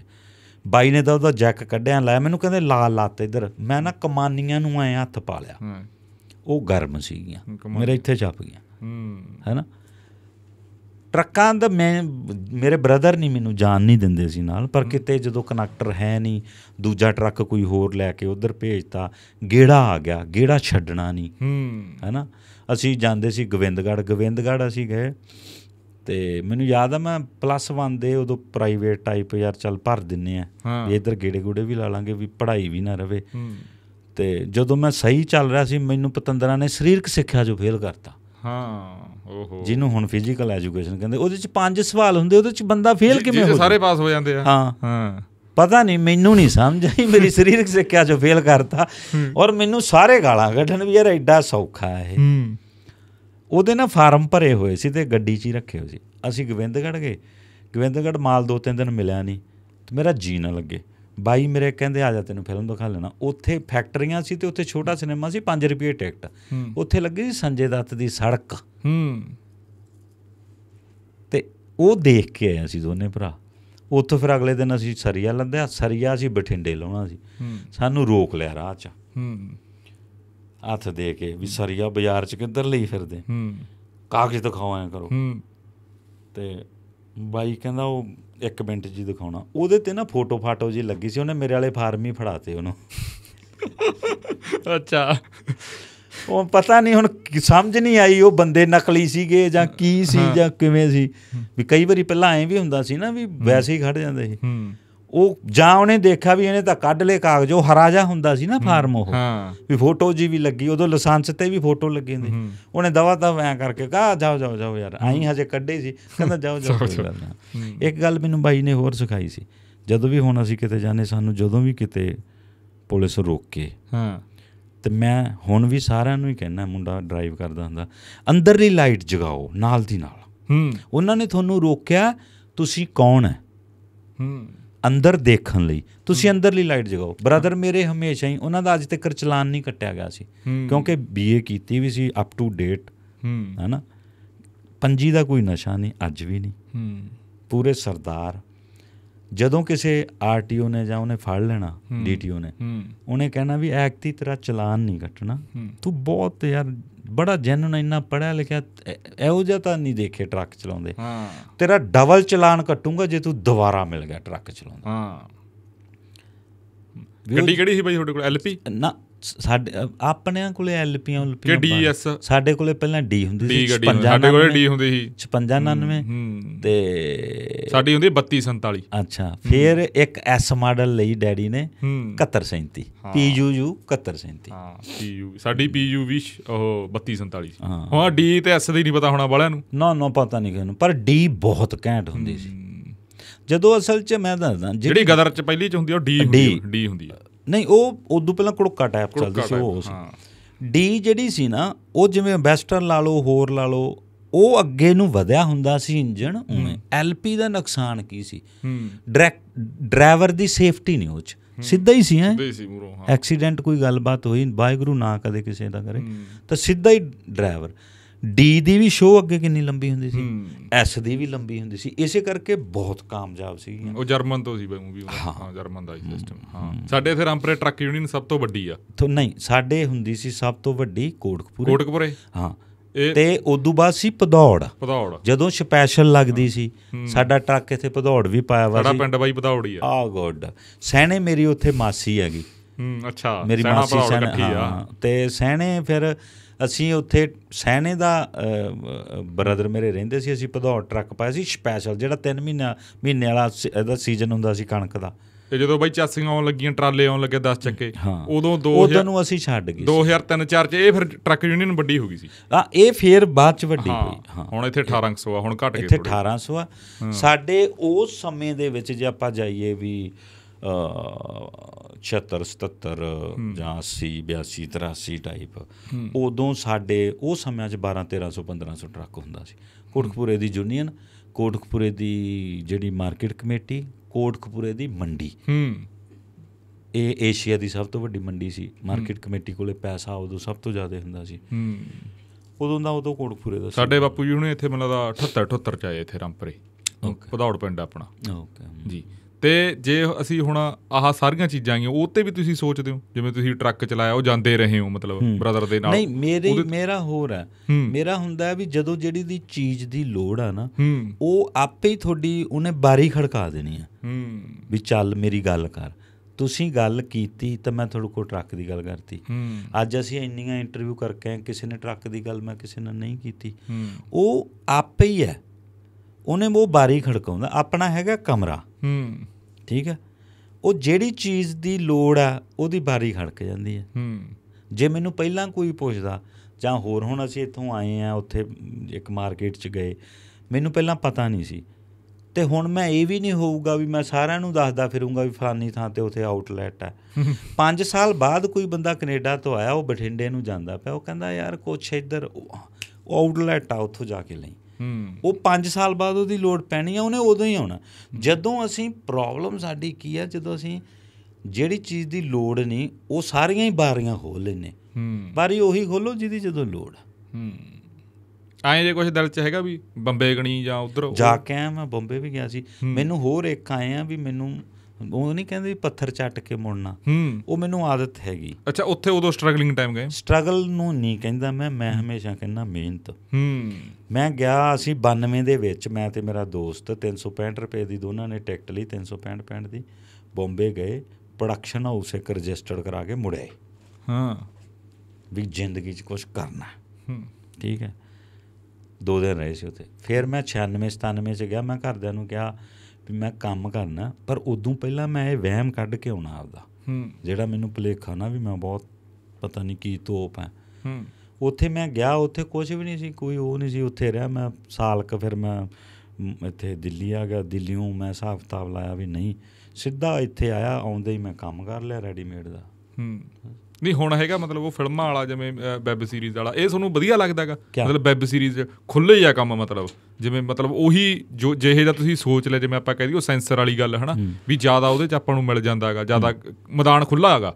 ਖੇਡਣ ਨੂੰ। ਨਹੀਂ ਦੇਖੋ ਮੈਦਾਨ ਖੇਡਣ ਨੂੰ ਖੁੱਡਾ ਖੁੱਲਾ ਹੈ ਸੌਰੀ ਪਰ ਆਪਾਂ ਕੁਝ ਉਦਾਂ ਦਾ ਬਾਲਾ ਨਾ ਕਰੀਏ ਜਿਹੜਾ ਵੀ ਆਪਣੇ ਪਰਿਵਾਰਾਂ ਨੂੰ ਜਾਂ ਹੋਰ ਉਦਾਂ ਦੀਆਂ। ਆਪਾਂ ਨੂੰ ਨਹੀਂ ਕਈ ਚੀਜ਼ਾਂ ਨਹੀਂ ਚੰਗੀਆਂ ਲੱਗਦੀਆਂ। ਤੇ ਅਸੀਂ ਜੇ ਮੈਂ ਇਹ ਸੋਚਦਾ ਵੀ ਯਾਰ ਇਦਾਂ ਦੀਆਂ ਇੱਕ ਜੈਨੂਨ ਜੀ ਖੁੱਲਾ ਜਿਵੇਂ ਆਪਾਂ ਗੱਲ ਕਰਦੇ ਹੁੰਨੇ ਆ ਵੀ ਜਿਵੇਂ ਵਾਰਨਿੰਗ ਚ ਇੱਕ ਡਾਇਲੌਗ ਸੀਗਾ ਵੀ ਮਗਰ ਕੀ ਕਰਨਾ ਹੈ। ਉਹ ਪਰਿਵਾਰ ਆਪਣੇ ਆਮ ਹੀ ਬਜ਼ੁਰਗੋ ਗੱਲਾਂ ਬੋਲਦੇ ਆ। ਵੀ ਇੱਥੇ ਖੜਾ ਕੀ ਕਰਦਾ ਹੂੰ। ਇਹ ਆਮ ਚੱਲਦੀਆਂ ਗੱਲਾਂ। ਤੇ ਉਹਨਾਂ ਕੁ ਤਾਂ ਠੀਕ ਹੈ ਜੋ ਸਾਡੇ ਉਵੇਂ ਚੱਲਦਾ ਤੇ ਜਿਆਦੇ ਨਹੀਂ ਉਹ ਉਦਾਂ ਹੈ ਨਹੀਂਗਾ ਮੇਰਾ ਸਾਹਿਬ ਮੈਂ ਥੋੜਾ ਜਿਹਾ ਨੈਰੋ ਮਾਈਂਡਡ ਹੈਗਾ। ਮੈਂ ਉਵੇਂ ਨਹੀਂ ਹੈਗਾ ਵੀ ਉਹੀ ਤੁਹਾਡਾ ਪਰਿਵਾਰ ਉੱਥੇ ਜੇ ਫਿਰਦਾ ਹੋਵੇ ਐਵੇਂ ਵੀ ਜੇ ਕਿਸ ਮੇਰਾ ਐਂ ਵੀ ਹੁੰਦਾ ਵੀ ਜੇ ਕਿਸੇ ਨੇ ਫਿਲਮ 'ਚ ਕਿਸੇ ਮੰਨ ਲਓ ਕੋਈ ਵਾਈਫ ਬਣਾਉਣੀ ਮੇਰੀ ਹੂੰ। ਜਾਂ ਕੋਈ ਮੇਰੀ ਭੈਣ ਬਣਾਉਣੀ ਹੂੰ ਤਾਂ ਉਹ ਯਾਰ ਕਰੈਕਟਰ ਪੱਖੋਂ ਨਾ ਠੀਕ ਹੋਵੇ। ਅੱਛਾ ਇਹ ਸੋਚਦੇ ਹੋ ਮੈਂ- ਵੀ- ਉਹ ਨਹੀਂ ਚਾਹੇ ਉਹ ਫਿਲਮ 'ਚ ਹੀ ਹੈ। ਹੂੰ। ਵੀ ਮੈਨੂੰ ਥੋੜਾ ਜਿਹਾ ਉਵੇਂ ਹੋਵੇ। ਇਹ ਥੋੜਾ ਜਿਹਾ ਧਿਆਨ ਰੱਖਦਾ ਮੈਂ ਜਿੰਨਾ ਕੁ ਜਿੱਥੋਂ ਤੱਕ ਹੁੰਦਾ। ਹੂੰ। ਹਾਲਾਂਕਿ ਤੁਸੀਂ ਤਾਂ ਇਹ ਚਲੋ ਕਹੀ ਦਿੱਤਾ ਵੀ ਤੁਸੀਂ ਸਟਰਗਲ ਨਹੀਂ ਕਹਿੰਦੇ ਮਿਹਨਤੀ ਕਹਿੰਦੇ ਹੋ। ਮਿਹਨਤ ਕਹਿਣਾ ਤੇ ਉਹ ਵੀ ਫਿਰ ਨਹੀਂ ਤੁਸੀਂ ਸੋਚਦੇ ਹੋਗੇ ਤੁਹਾਨੂੰ ਬੰਬੇ ਕੰਮ ਆਏ ਫਲਾਨੀ ਫਿਲਮ ਚ। ਉਵੇਂ ਕੋਈ ਸੁਪਨਾ ਟਾਈਪ ਜਿਵੇਂ ਇੱਕ ਸਵਾਲ ਜਾ ਹੁੰਦਾ। ਬੜਾ ਹੁੰਦਾ ਸੀ ਮੇਸ਼ ਭੱਟ ਖੜਾ ਹੋਊਗਾ ਉਹਨੇ ਹਾਂ। ਕਹਿਣਾ ਆ ਜਾ। ਅੱਛਾ ਮੈਂ ਉੱਥੇ ਪੂਜਾ ਬੇਦੀ ਦਾ ਨਾ ਨੰਬਰ ਲਾ ਮੈਂ ਬਾਈ ਖੁਸ਼ ਹੋ ਗਿਆ ਪੂਰਾ। ਮੈਂ ਪੂਜਾ ਜਦੋਂ ਮੈਂ ਬੰਬੇ ਉਤਰਿਆ ਨਾ ਮੇਰੇ ਓਡੇ ਓਡੇ ਵਾਲ ਲੰਬੇ। ਪੂਜਾ ਬੇਦੀ ਅੱਛਾ। ਲੰਬੇ ਲੰਬੇ ਵਾਲ ਮੇਰੇ। ਤੇ ਨਿਰਮਲ ਪਾਂਡੇ ਵਰਗੇ ਉਦੋਂ ਆਏ ਵੇ ਸੀਗੇ ਬੈਂਡਡ ਕਵੀਨ ਰਿਲੀਜ਼ ਹੋ ਗਈ ਸੀ। ਹੂੰ। ਤੇ ਮੇਰੇ ਇੱਕ ਹੱਥ 'ਚ ਪੀਪਾ ਜਿਹ 'ਚ ਯਾਰਾਂ ਮਿੱਤਰਾਂ ਨੇ ਕਿਸੇ ਨੇ ਚੌਲ ਦਿੱਤੇ ਕਿਸੇ ਨੇ ਘਿਓ ਕਿਸੇ ਨੇ ਕੋਚ ਕਿਸੇ ਨੇ ਗੁੜ। ਹੂੰ। ਇੱਕ ਮੇਰੇ ਇੱਥੇ ਬੈਗ ਤੇ ਇੱਕ ਗੱਟੇ 'ਚ ਬੰਦ ਕੀਤਾ ਵਾ। ਉਹ 'ਚ ਸੀਗਾ ਡੈਕ ਤੇ ਬਾਕਸ। ਹੂੰ। ਜਦੋਂ ਮੈਂ ਪੜਦਾ ਸੀ ਅਬੋਰ ਉਹ ਡੈਕ ਬਣਵਾਉਂਦੇ ਹੁੰਦੇ ਸੀ 1200 ਦਾ ਬਣਵਾਇਆ ਸੀ ਮੈਂ। ਗੁਰੂ ਦਾ ਟਰਾਂਸਫਾਰਮ ਲਵਾ ਦੇ।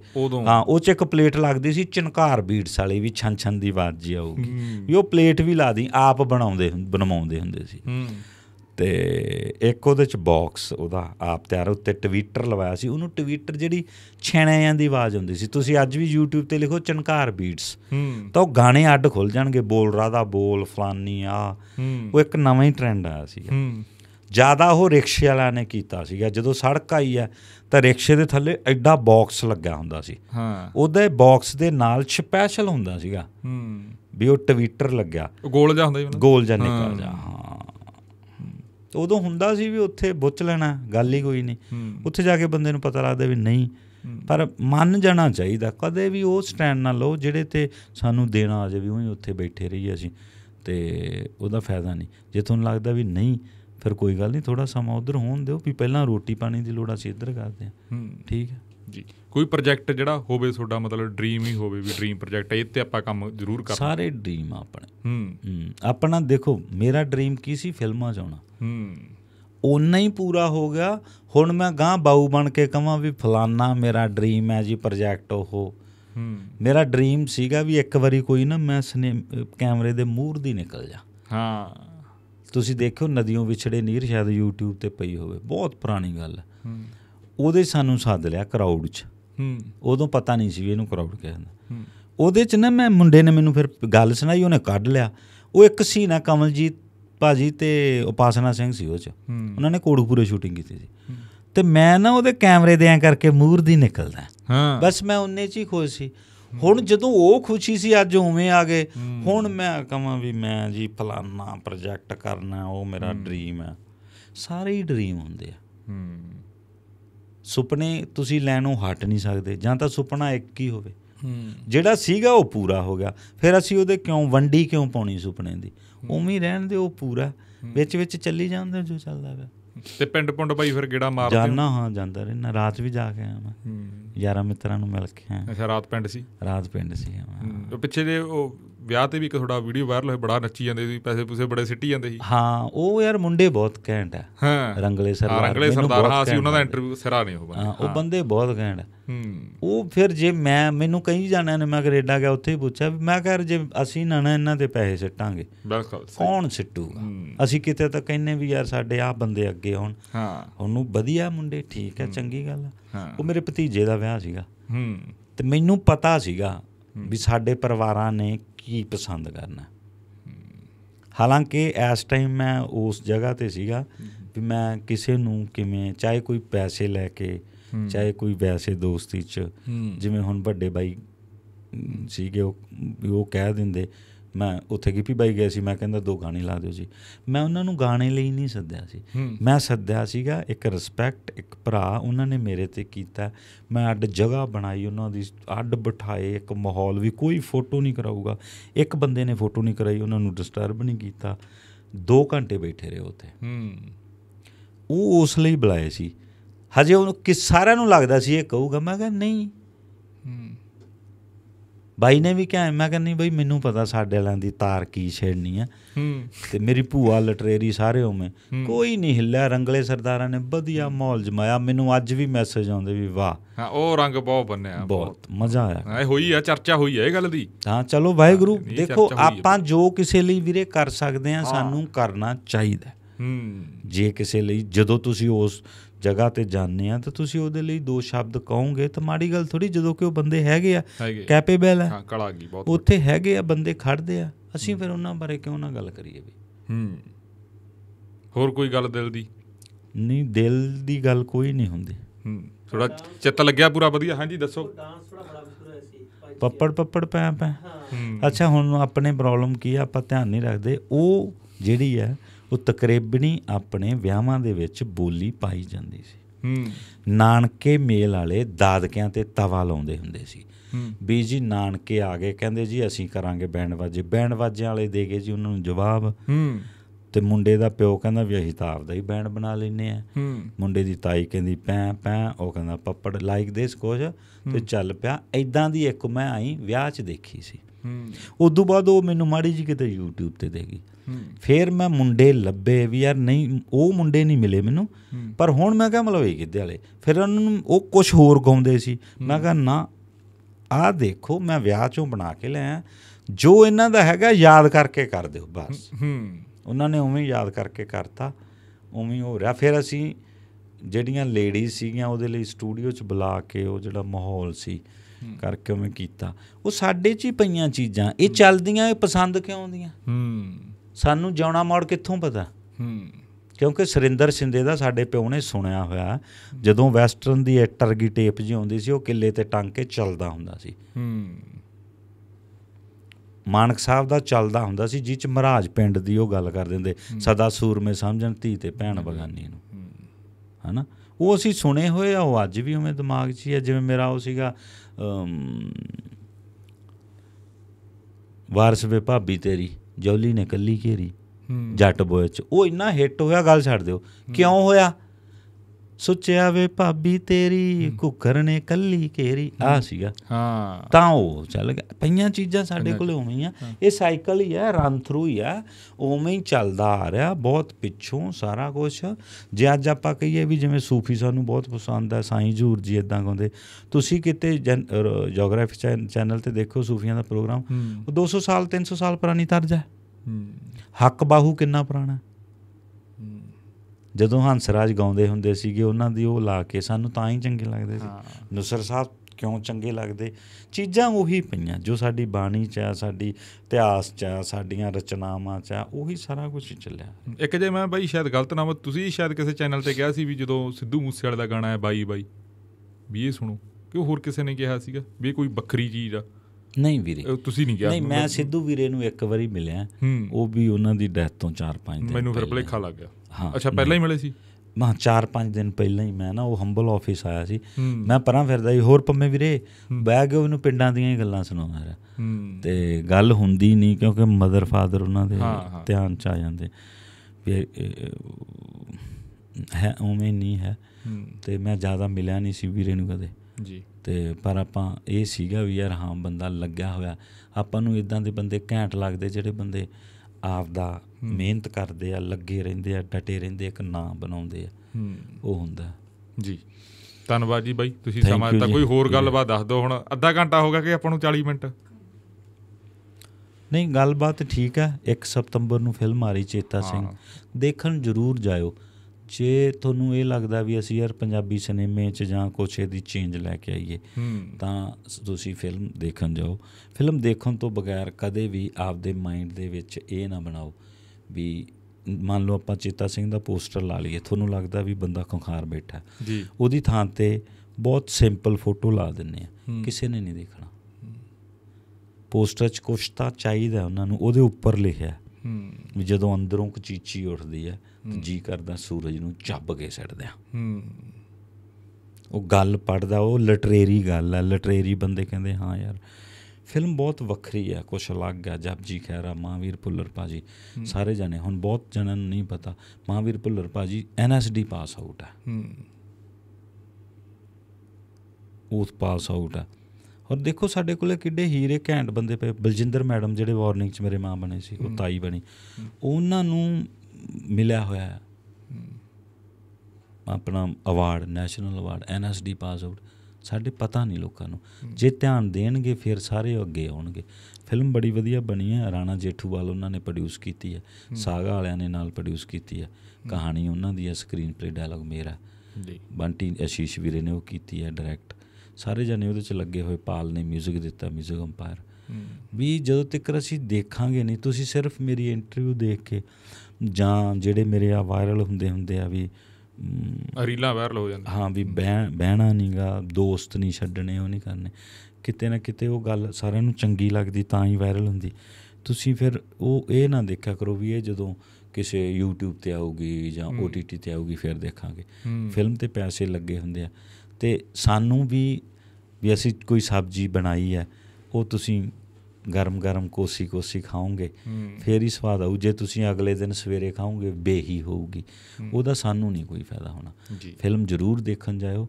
ਕੁਝ ਅਲੱਗ ਕੁਝ ਅੱਡ ਉਹ ਮਿਲੂਗਾ।